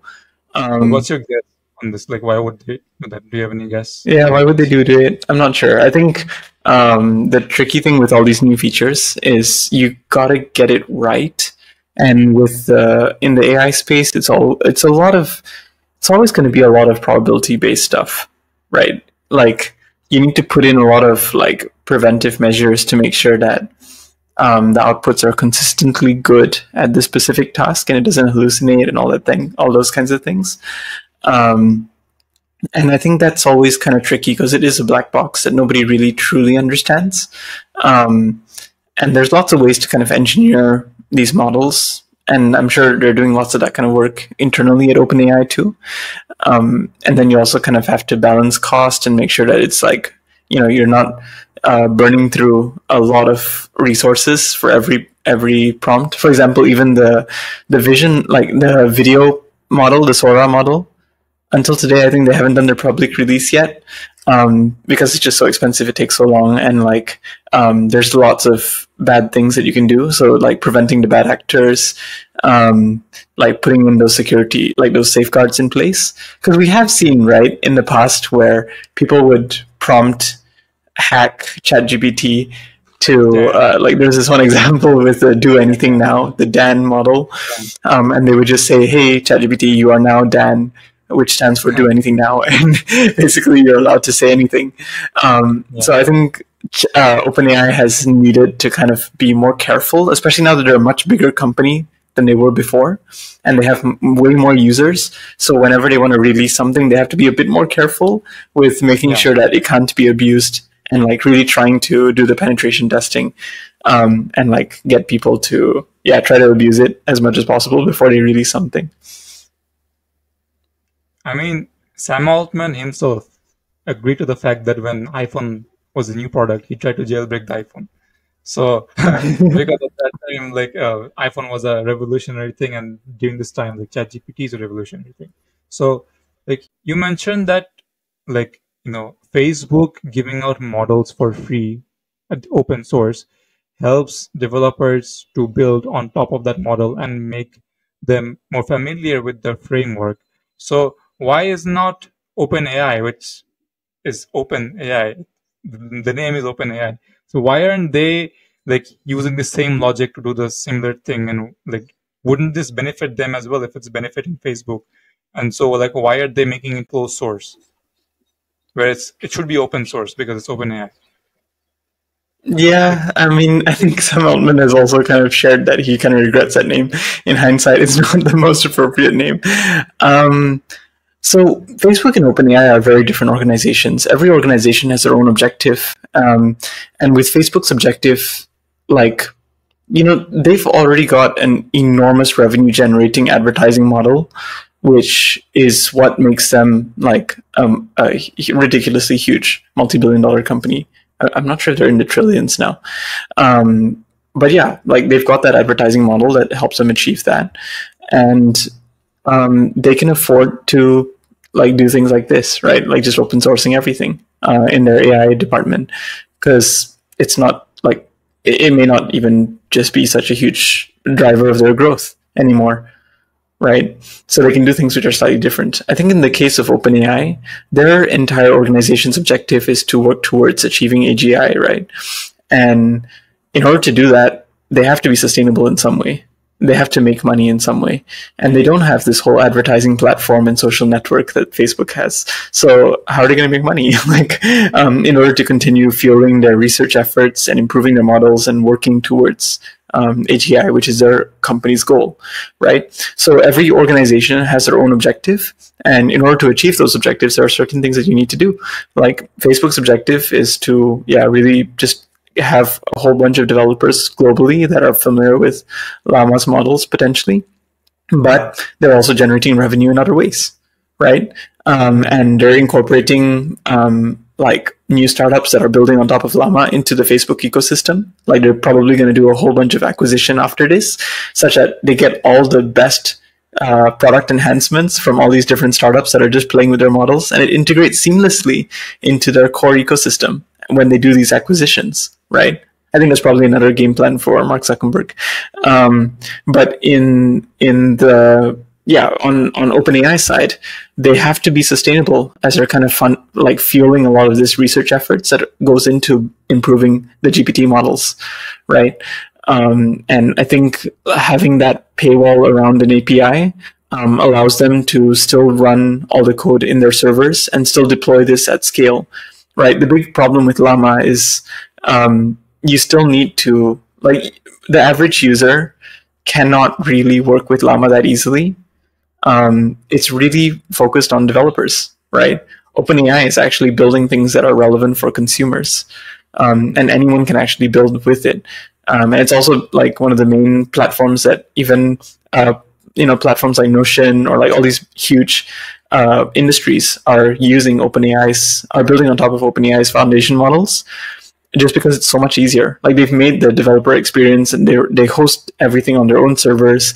They manage the servers. You don't have to worry about all that stuff, right? They make sure that the uptime is is consistent. So yeah, they they it's just a different way to do business, right? And I think OpenAI's model uh, ensures that they're able to build AI sustainably um, and still address a huge market. That's a pretty solid answer. But ever since the beginning, they they were known for two things. Number one is they will push for making an AGI, and number two, they will be non-profit. And they were like big business people, and one of them was Elon Musk, who were endorsing it. So, like, they were supposed to know that building an AGI would take money, would make would would need a lot of money, and like, it's not like they're discovering it right now. They're supposed to know that because it's a resource intensive thing. So, like, why at that time they had this goal of you know having AGI and then having an open source like non-profit organization? Like how did that at that time make business sense to them? And Oh why yeah. are they suddenly? Why they're changing it suddenly? Now like oh we are not open source anymore. So I'm not an expert in this, but uh, from what I understand, when OpenAI was first starting out, the potential of this whole project, like the probability of it succeeding, was like really, really, really low. Right? they, they had no idea. Um, so like the the nonprofit structures and stuff like that was created um, for governance purposes in case the models get really good and stuff like that. Um, and one one misconception about nonprofits, it's not that they can't make profits, right? And also, OpenAI directly isn't a nonprofit. OpenAI is a revenue generating profitable company, but then they are they are overseen by a nonprofit entity. Um, but yeah, anyways, the thing about non-profits, even in like social enterprises, which are considered non-profits, um, they just don't like issue dividends and pay out profits. So they just need to basically utilize the resources to continue growth and building things. So, but they can still make money. Like they can still make a lot of money, and they can still pay their internal management and stuff money, right? Um, so that's a, that's an, a bit about the non-profit model. Um, in OpenAI's case, like yeah, I think I think they would have. I mean, they're all a whole bunch of really smart people who had who had started this. I don't think they would have not like known. They would have known that fu- funding would have been a critical part of this, um, and building something somewhat commercially viable in order to like make sure that the whole research efforts are sustainable and stuff is going to be a part of this. Um, yeah, but I think at the time, like when it was when everything was started, I, I don't know. Personally, I feel like they Actually, yeah, I, I don't know enough about it, but um, I would say, yeah, they probably would have done things differently if they knew everything that they knew that they knew today. I mean, that's also things that Sam Altman has mentioned a couple of times as well. hmm i would like to briefly touch upon like interactions between like ai and um like humans like previously it used to be like very much straightforward right like you just tell the ai to do one thing and it will just do one thing it did not have that even if it tried to simulate it it did not have that something you know that something there was something missing in it there. And then llms came and i think this somehow like managed to fill that out. Like if you like really train an llm and if you like um like make it talk with someone over the phone and i don't think any person like it will be very difficult for them to actually like know that they're not talking with a human. And like so how does this influence the relation the the human like human ai relationship? Like recently like a couple of months ago i've seen a very old movie. It's called her. So like in her there's this guy who uh, you know buys this operating system from a company and they eventually like you know get into deep relationships and they fall in love with each other. Even though like uh, in that movie her the uh, the AI's was AI's name was Samantha. So Samantha did not have any physical appearance. It was just voice and he was there with um, I forgot the dude's name. So and and when people like when in the product release of know, GPT-4 advanced voice model, people were commenting that's like her, that's like her, that's like the movie her. That's that's how I got to know. Okay, what is this her movie? And I was like, oh, okay. So a lot of similarities with you know GPT-4 advanced model, and on the other end, you can see that people are struggling with human connections, right? They're struggling with making friends. They're struggling with a lot of insecurities and depressions and things like that. So, like, it, they find it a lot more easier to talk with an AI because they don't judge you. They don't have negative feelings towards you inherently. But I think as you train them to be more human, they will have that. That's that's another like uh, um, another topic. So, as a developer yourself, and as a like from a marketing perspective, from a you know AI company perspective, how are you seeing this at the moment? What's your thought on this, and like what would happen uh, regarding the human AI relationship? Hmm. yeah, I haven't seen a movie by the way. It's on my it's on my list. Um, yeah, but I think yeah, I don't know. Like uh, I, I think I don't know. I haven't given this enough thought. I think. Hmm. Yeah, it's kind of strange. I can imagine. Um, I do use ChatGPT's like voice mode quite a lot.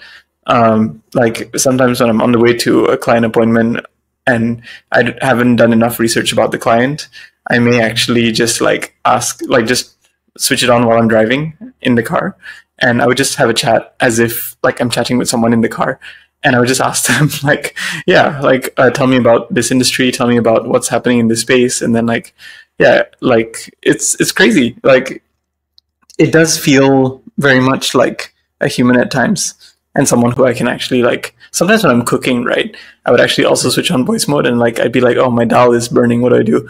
And like it tastes tasteless. Like should I add more curry powder or yeah, what do I do? So um yeah, like a, a lot of times I find it quite interesting the way we're interacting with these models. Um I don't know. Like, I, I haven't thought so much about the dystopian future as to like, yeah, as these models get better and better. Um, I think there are like already stories out there of people like getting married to ChatGPT, literally. like, but I don't know. It's kind of it's kind of strange. Um, yeah. Oh, and also I guess there's um, there's a surge of like tools like Character AI, which have basically created lots of like people you can talk to for companionship and stuff like that. And sometimes it's a bit more odd because like the conversations can be more like the you know the AI girlfriend, AI boyfriend um, industry. Um, so yeah, I think there are potential negative repercussions that'll come out as a result of that. Um, like pretty significant negative repercussions, and we really need to do a lot to kind of shape society in future. But I think it's similar to how when the internet first came out and everyone suddenly had access to the world's like knowledge, uh, but not just knowledge, but also the world's negative sides as well, right? Um, yeah, I think there's there's just generally a lot of like education that will need to happen, um, and also culture and the role of parents and all these things will be so important moving forward too. Um, yeah, the role of education institutions in shaping how critical the next generation of people are um, in managing the negative sides of of AI and all these technologies. Yeah. Hmm. You know, this was almost like kind of predicted that, you know, in the fourth industrial revolution, it will be more about machines and people need to step up more and would need to be like, you know, um, adapting to those changes as well. But n- like up until 2020 December, I think nobody thought it would be like this. Like people thought they would just go for the boring jobs first, but it turned out to be the opposite. Like they went for the intelligent job first. So like during those moments, uh, during those like the early stages, I heard this analysis of this person, and um, I found it to be pretty like interesting. He gave me this example of the refrigerator industry, like when the refrigeration technology was invented, right? And yes, the refrigerator companies made a lot of money out of it, but guess who? Other industries that they mon- make they made money out of it: Pepsi, Coke, ice cream companies, um, like ice companies that they sell ice, or basically companies that are based on built upon refrigeration technology. Like Coke itself is not a refrigeration thing, right? But it depends upon like the refrigeration technology to sell its products. I'm not endorsing Coke, Coke by the way, because of this you know, issue. Uh, so please, like, um, pardon me, but you know, if you think about ice cream companies, they're also doing the same thing. They're not making the refrigerator itself; they're making something that's based upon the um, refrigeration industry or refrigeration technology. And yeah, and the consumer shift that's happened as a result yeah. of that underlying technology. Yeah, yeah, yeah, and that made that that helped the ice cream companies to scale their business because now fridges can be more easily available. They can be in shops, they can be in places. You do not have to think about preserving them or storing them that much, right? And and I, I can see something similar happening with AI as well. Like, you know, you you are building Cleve, you are building it specialized for um, social media people and who want to grow their channels. There are people like making character AI who are like making characterizations based on like, you know, the core technology of, you know, large language models. And I, I've seen this Scooby, like they use this Scooby-Doo template where like there's this ghost and that ghost is, oh, AI company and when you take off the mask, it's like, oh, it's an API of ChatGPT, like OpenAI. Like they're, they're claiming themselves to be like innovative, you know, AI company because AI itself right now is like a very big marketing term. Like people are throwing money into anything that's AI because it sounds very cool. And I think like we were talking about human relationship prospects and if anyone can like come up with something like Tinder, I think someone can make up uh, make a business out of you know connecting AI with humans because there's on there's the other side people are feeling lonely and more deprived inside and on the other side AI is becoming more human so I do not have any data to back this up I'm just speaking from this personal feeling and I think people who are like immoral but they have good business sense they would they would use AI to you know cap like capture that you know insecurity of ours that's growing. Yeah, I think um, this is where things like philosophy and like your values and what do you stand for, what do you want to create, and how do you want to shape the world um, for even as students, as people who are looking to build solutions or to build things. Like you know, there, there are good problems and there are, I guess, other problems to solve in the world, like loneliness and um, not having I don't know, like those AI companionship um, platforms and stuff. So, um, yeah, like, yeah, I think it's worth just spend deciding when you're young as well. Like, what I mean, you know, while you're young, making those decisions um, while you're building companies. Like, what what do you want to contribute to, um, and how do you want to shape the world through the things that you're building? Yeah since AI is you know becoming our everyday companion, and people are also like trying to grow their influence on social media, right? So like, how would you like advise people to grow their social media platforms using this tool? Like, if you take about something like m- myself who struggles to go grow on social media with long form or short form so how would like what would be your advice for them yeah so um i think let's see with with social media growth i think it's all about like first of all really understanding who you are and like what kind of community do you want to build? Who do you want to attract right? And like what kind of conversations do you generally enjoy having that you want to have more of right? So um, when when you have that like first having that clarity on yourself um, like what kind of content do you want to be putting out to attract those kinds of people that becomes a, a lot more clearer. Um, I think with AI and all this stuff, like it's helpful in a sense where like as you're doing research to serve your community better or as you're um, penning down your quick thoughts and then having that be turned into initial drafts of posts that you can then work with i think it speeds up the writing and the thought process quite a lot so that you're able to do this kind of volume um, and have the unfair advantages that bigger creators with bigger teams have right? Like you basically have assistants similar to how bigger creators would have a whole bunch of assistants to do different parts of the content creation process. But even for creators like Ali Abdaal, for example, um, the stuff that he shares is still his own opinions and his own thoughts.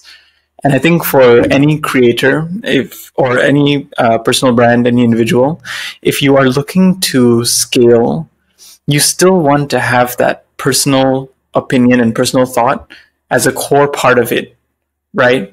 Um, like you want to make sure that that's still true to you, so don't like go generating a whole bunch of posts and then just reading it out loud, um, like from nothing. Like definitely try to focus on your own thinking and your own thoughts and share those thoughts so that you attract the right kind of people to your channel.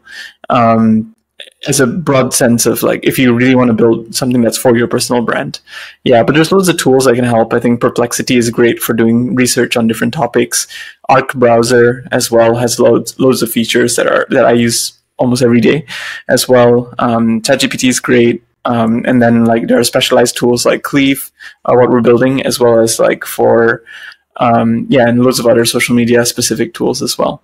Yeah. Okay, that's a very good answer. Now we would have some fun gaming part where I, I have organized three games. First game you have to like, you know, um, you have to guess the person. I'll give you clues. Based on the clue, you have to guess the person and if you fail to guess the person then i will drink water because that's my reward and if you succeed then you will drink water because we have been talking for like we have, i'm having a very meaningful conversation okay so okay it can be a company or a person so this is the person okay and uh, this is the first clue so this man married has been married thrice and has at least four ex-girlfriends with 10 children and three different mothers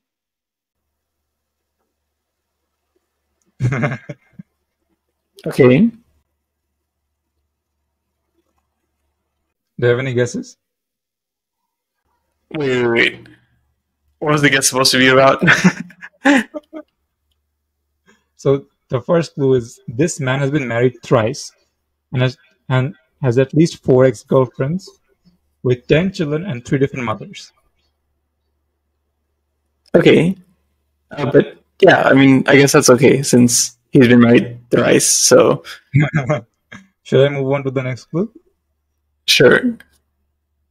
So the second clue is he has two companies in two completely different fields that are worth. Oh, okay, okay, yeah, Elon Musk. Right. Here we go. I will it out. So you got it right so you can drink water as a reward. cool.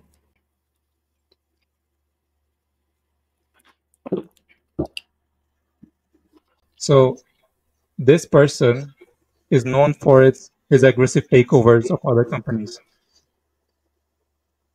Like he's known for buying other companies and technologies and things like that.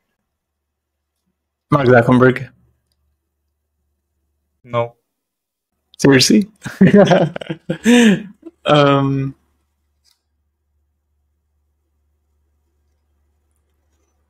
I mean, Elon Musk, but only Twitter, so I don't know if that counts. No, but this person is known for taking over a lot of small companies as well. I mean, small co- like companies that are small compared to his parent company.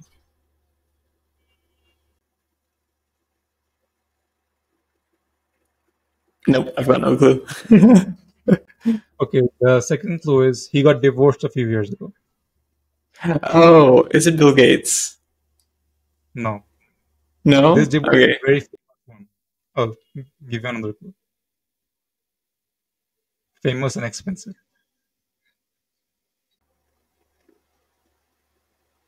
Damn, nothing comes to mind.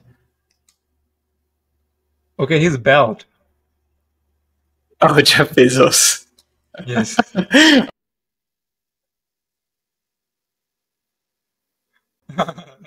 Was it a hard one? Oh my gosh, no. Like, well, yeah. I, am not as familiar with Jeff Bezos' story. Yeah. okay. So, I think this is the last one for the clue game. He became a billionaire when he was, this is the person, and he became a billionaire when he was 26 years old.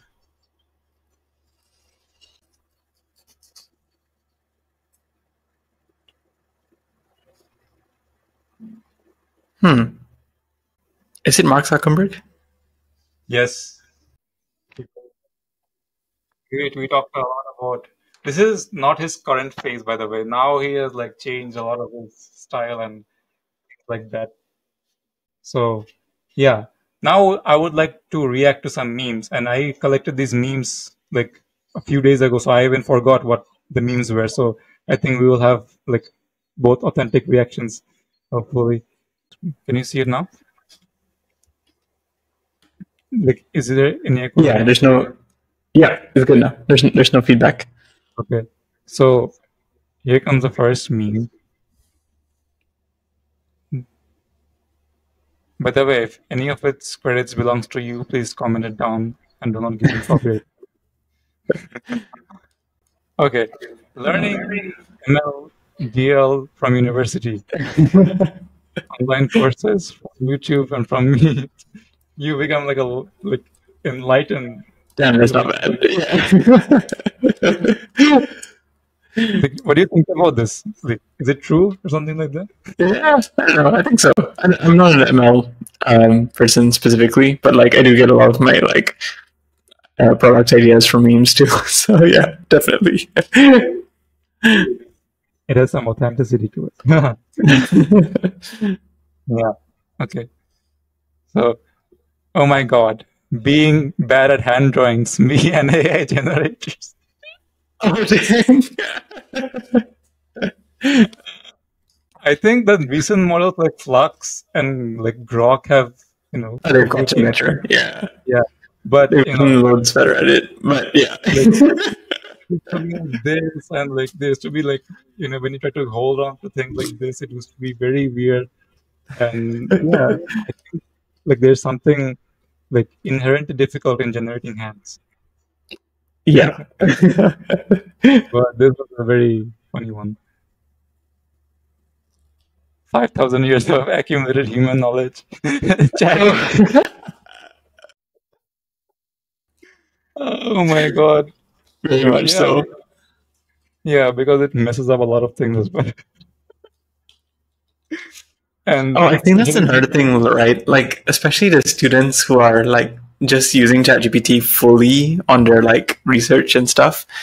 Um, I, I have no issues with. I think it should be used, but like, holy shit, if people are really just going through their entire degree, like just ChatGPTing everything and not ever doing any thinking or like the problem solving skills, like that's Yeah. literally five thousands of accumulated, five thousand years of accumulated human knowledge and and wisdom like going down the drain. Yeah. A few years, uh, a few months ago, I saw this read on Instagram where this person was graduating, and you know who, who that person was thanking? ChatGPT. Like, thank you, ChatGPT. yeah, that was good. for being I think I saw that. Yeah. yeah. people used to thank their parents, now they thank their ChatGPT. Okay. Develop a powerful AI and teach it to write.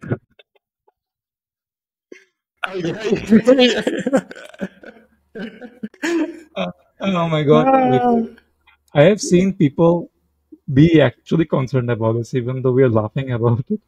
But yeah, um, have a AI replace as developer.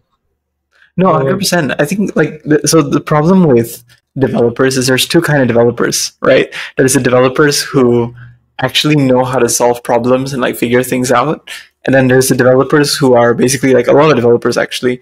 They just take a Figma design and then they just implement it on a website, and like they just build websites without actually like learning new skills and refining their craft much.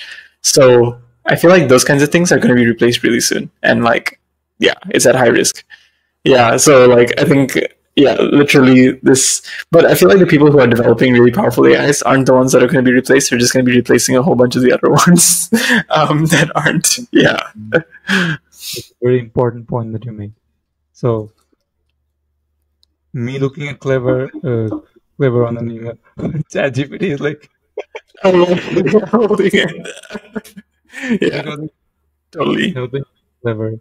Because, but I think these days the plagiarism detection also, you know, uh, increased a lot in terms of like power and things like that, especially for Yeah. students. Yeah. but yeah, it does help you with grammar. I have, I know students who got caught like who use ChatGPT only for grammar, but that you know came out as plagiarism. So Ah, shoot. Right. that's people are afraid of AI, but have a, a robot. better. oh my! I mean, what's more true? Uh, what's more true than this? Are there? Yeah, yeah. what's more true than this is actually like using algorithms to you know decide the stock market prices that's Oh, more yeah. impactful that's more impactful than you know vacuuming like people do not realize this but like the algorithms have a lot of power in ways that we do not even like realize these days But yeah, this this reminds me of like people are scared of chemicals, but they're eating food every day and they're breathing air and like yeah, drinking water. That's a chemical. like yeah, pretty much everything is like chemicals. Yeah. that's a i think that's a very profound meme as well funny and profound as well machine learning algorithm like math what the hell is this But could you like explain what's going like what is do you have any idea about this like i could not relate with this to be honest no, honestly, to be honest, I don't get that one. Huh. okay okay then we'll move on to the next one when i realized that chat gpt can do my job. A few seconds over. Yeah, man. You will get replaced. You will get replaced. I remember this thing that, you know, they were developing a huge building and then they said like ChatGPT cannot make this building. And I was like, okay, give 3D printers a few more years and then you'll combine ChatGPT with 3D printers and then let's see what happens. so true. Yeah. But I think there are still hard tasks that ChatGPT will not be able to execute. I don't know. Let's see what happens. Only way to keep AI from taking a job is to. Yeah. we have been talking about this. Kinda true. Right. I mean, yeah, you, you have to like adapt. You have to like, you know, get used to it or else you'll get replaced. Yeah. And I think especially for young people who are particularly good at just playing around with new things and finding hacky ways to to, to do things. So yeah, that's cool. Okay, let's see what we have next. Oh my god. So you're telling me Mark Zuckerberg started appearing more human like I'm sorry, Mark. If I ever get to host you someday, it would be I would be very happy. But it's permission of yours. So, and it's very coincidental that you know AI is becoming more human, and so are you. Yeah, I feel like he's developing at the same rate as GPT is. Yeah. Yeah, maybe it's like Lex, uh, Elon Musk, or maybe it's Mark Zuckerberg. Like Mark Zuckerberg went to Lex Fridman's podcast, and Lex Fridman gave him a captcha, like printed out captcha forms to like tick to prove that Mark Zuckerberg is not a robot. Can you circle all the traffic lights, please?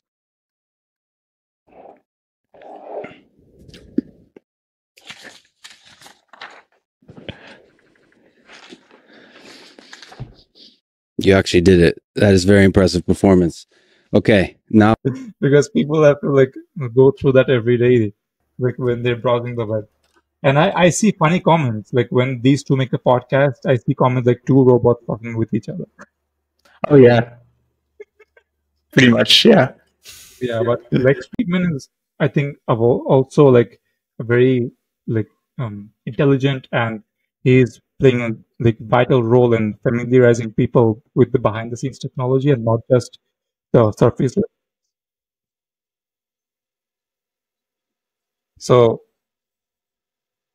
here's the, I think the last one, machine learning. Let's see who really are. Statistics. And this is the same template that I was talking about, but that meme was, you know, AI startup, but the, who is this? ChatGPT.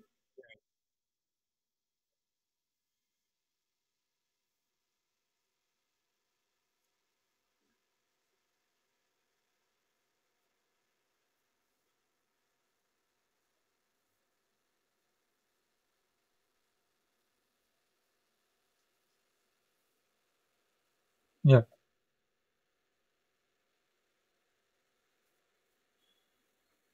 Hmm. Oh, this is the last one.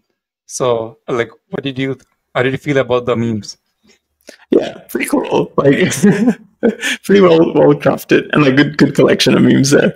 Um, but yeah, like I think I think memes are a great way of just communicating too. Like generally, like they, they do A wider like, audience. Yeah, Yeah. and, it, and you just I see. instantly get the message. Yeah, I see Elon Musk doing this a lot.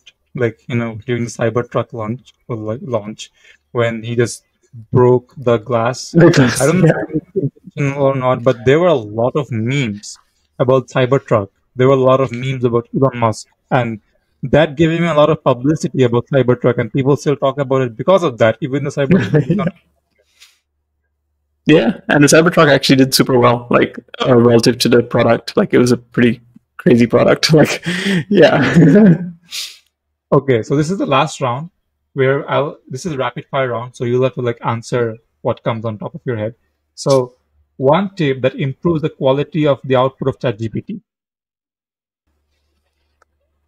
one tip. Uh, yeah, like talk about. j- talking like a human. Talk to it like a human. Just pretend that you're having a conversation with an actual person.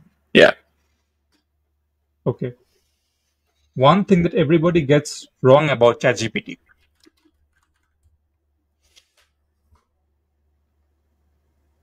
Oh shit. Uh, rapid fire.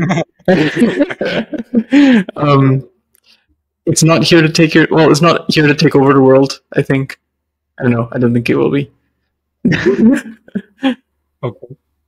Sam Altman, one thing you like about him and one thing you dislike about him. Hmm. I like his charisma leadership style. Um, I dislike how okay sometimes he can be overly PR ish. Like he's very careful with what he says. yeah, it would be nice to see a bit more humanness sometimes. Yeah. So Mark Zuckerberg is becoming more human, but not. Yeah. Okay. So if you have to explain to a kid what is generative AI, how would you do that? Um, it's this tool that helps you create like it's a it's a new tool in a toolbox for you to solve problems in the world. Oh, well, for kids, I guess. Yeah, you can you can like create new things and like have fun with it and like um, do things that you can never do before with this new tool. Okay, this question is actually from your website, and that is Will GPT-10 AI CEO be more effective than a human CEO? I wonder about this sometimes. Like, um, actually, one of the one of the, the videos that I'm thinking of putting out is like, yeah, basically, um, I'm hiring an AI CEO to try to like run this company and like see what it would say. like, yeah, yeah, I think I think it could be interesting. I think at some point, we still need human decision making, but like once you have all the company data fed into the models and like they already kind of like they're just giving you suggestions and the role of the human is just to pick the suggestion with the highest probability um, of success like i think that's going to be a thing. Um, yeah and ai for decision makers is just going to be a thing. Like it's going to be interesting. Yeah i know the models aren't anywhere near there yet but i think it might be one day. So I was just playing around with Gemma, and I said that what are some of the mind blowing things that you can help me do? Okay, Gemma is another local AI. Mm-hmm. So it told me that since it has historical contexts, it can help you to predict what's what might happen in the future based on historical events. And I found it to be like pretty interesting. People, I don't think people talk about that often. true like maybe things like geopolitics where you have to like the inherent nature of the country stays the same but the actions differ and the actions differ based on their actual inherent nature. So if you can get to know about the actual inherent nature then probably you can predict the future moves as well better. Hmm. so yeah here's the next rapid fire question. Gary vee one thing you like about him and one thing you dislike about him Um, honestly, he's been such a huge inspiration for me. Like even going and starting a business, like straight out of uni, and taking risks. Uh, I was quite inspired by him to do that. Right? Uh, I don't like how loud he is. Like he gets old after a while. like he's just screaming at you all the time. yeah. Okay. One thing that concerns you about uh, one thing that concerns you the most about the recent AI developments. Mm, I think the younger generation and how I mean we're like I would consider myself as part of the younger generation, but like yeah, how how it's going to be affecting the next generation of like people, especially the negative sides of it, like the whole AI companionship and all that kind of stuff as well. Yeah. Hmm. Interesting. One common thing for most, so one common thing for the majority that makes someone successful as a content creator.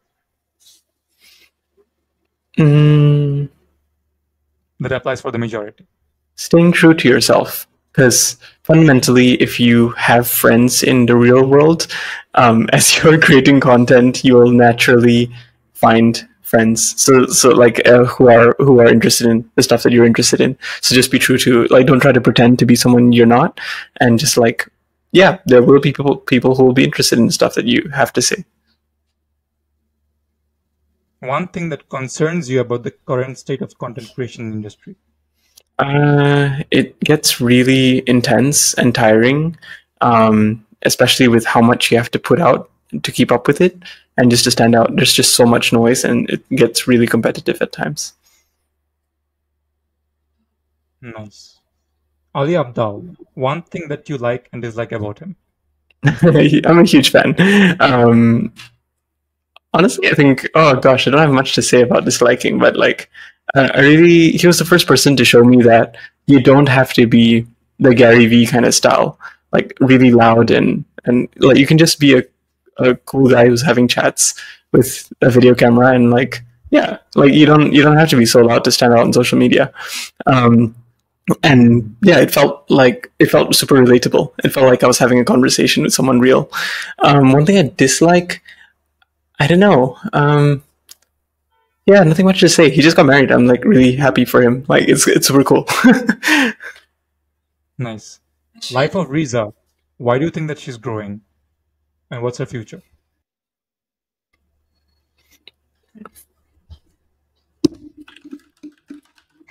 Are you Googling it? Or asking ChatGPT? I don't know. Hold on one second. Um, so Life of Riza, I think, yeah, also a huge inspiration. Um, she's like, yeah, like s- just being herself in the in the most like and really focusing on her craft, just creating great things. I think a lot of people, um, like, yeah, it, she just really stands out by just being really, really focused on her craft of making great videos and sharing her her story. Yeah. Hmm. One thing that ChatGPT can do, but people don't talk about of ChatGPT. Oh, lots of strategy work, honestly. Like giving suggestions on strategy, um, and giving you like, like yeah, um, consulting, consulting ChatGPT when you actually need like real world help and like real world suggestions. Yeah, it can be really, really helpful. Hmm. Last but not the least, if there's one thing that you would like my viewers to take away from this conversation, what would what what would what would it be? Um, I think remember to have fun, do cool things, like live a life that you won't regret, and uh, yeah, just play around with all the new technologies, um, and yeah, just try to build uh, stuff that you'll be proud of. Oh, thank you, thank you for coming on to my show, Alvin. Hopefully, I'll have you next time as well, someday in the future. yeah, absolutely. This is super fun. Hmm. Thank you.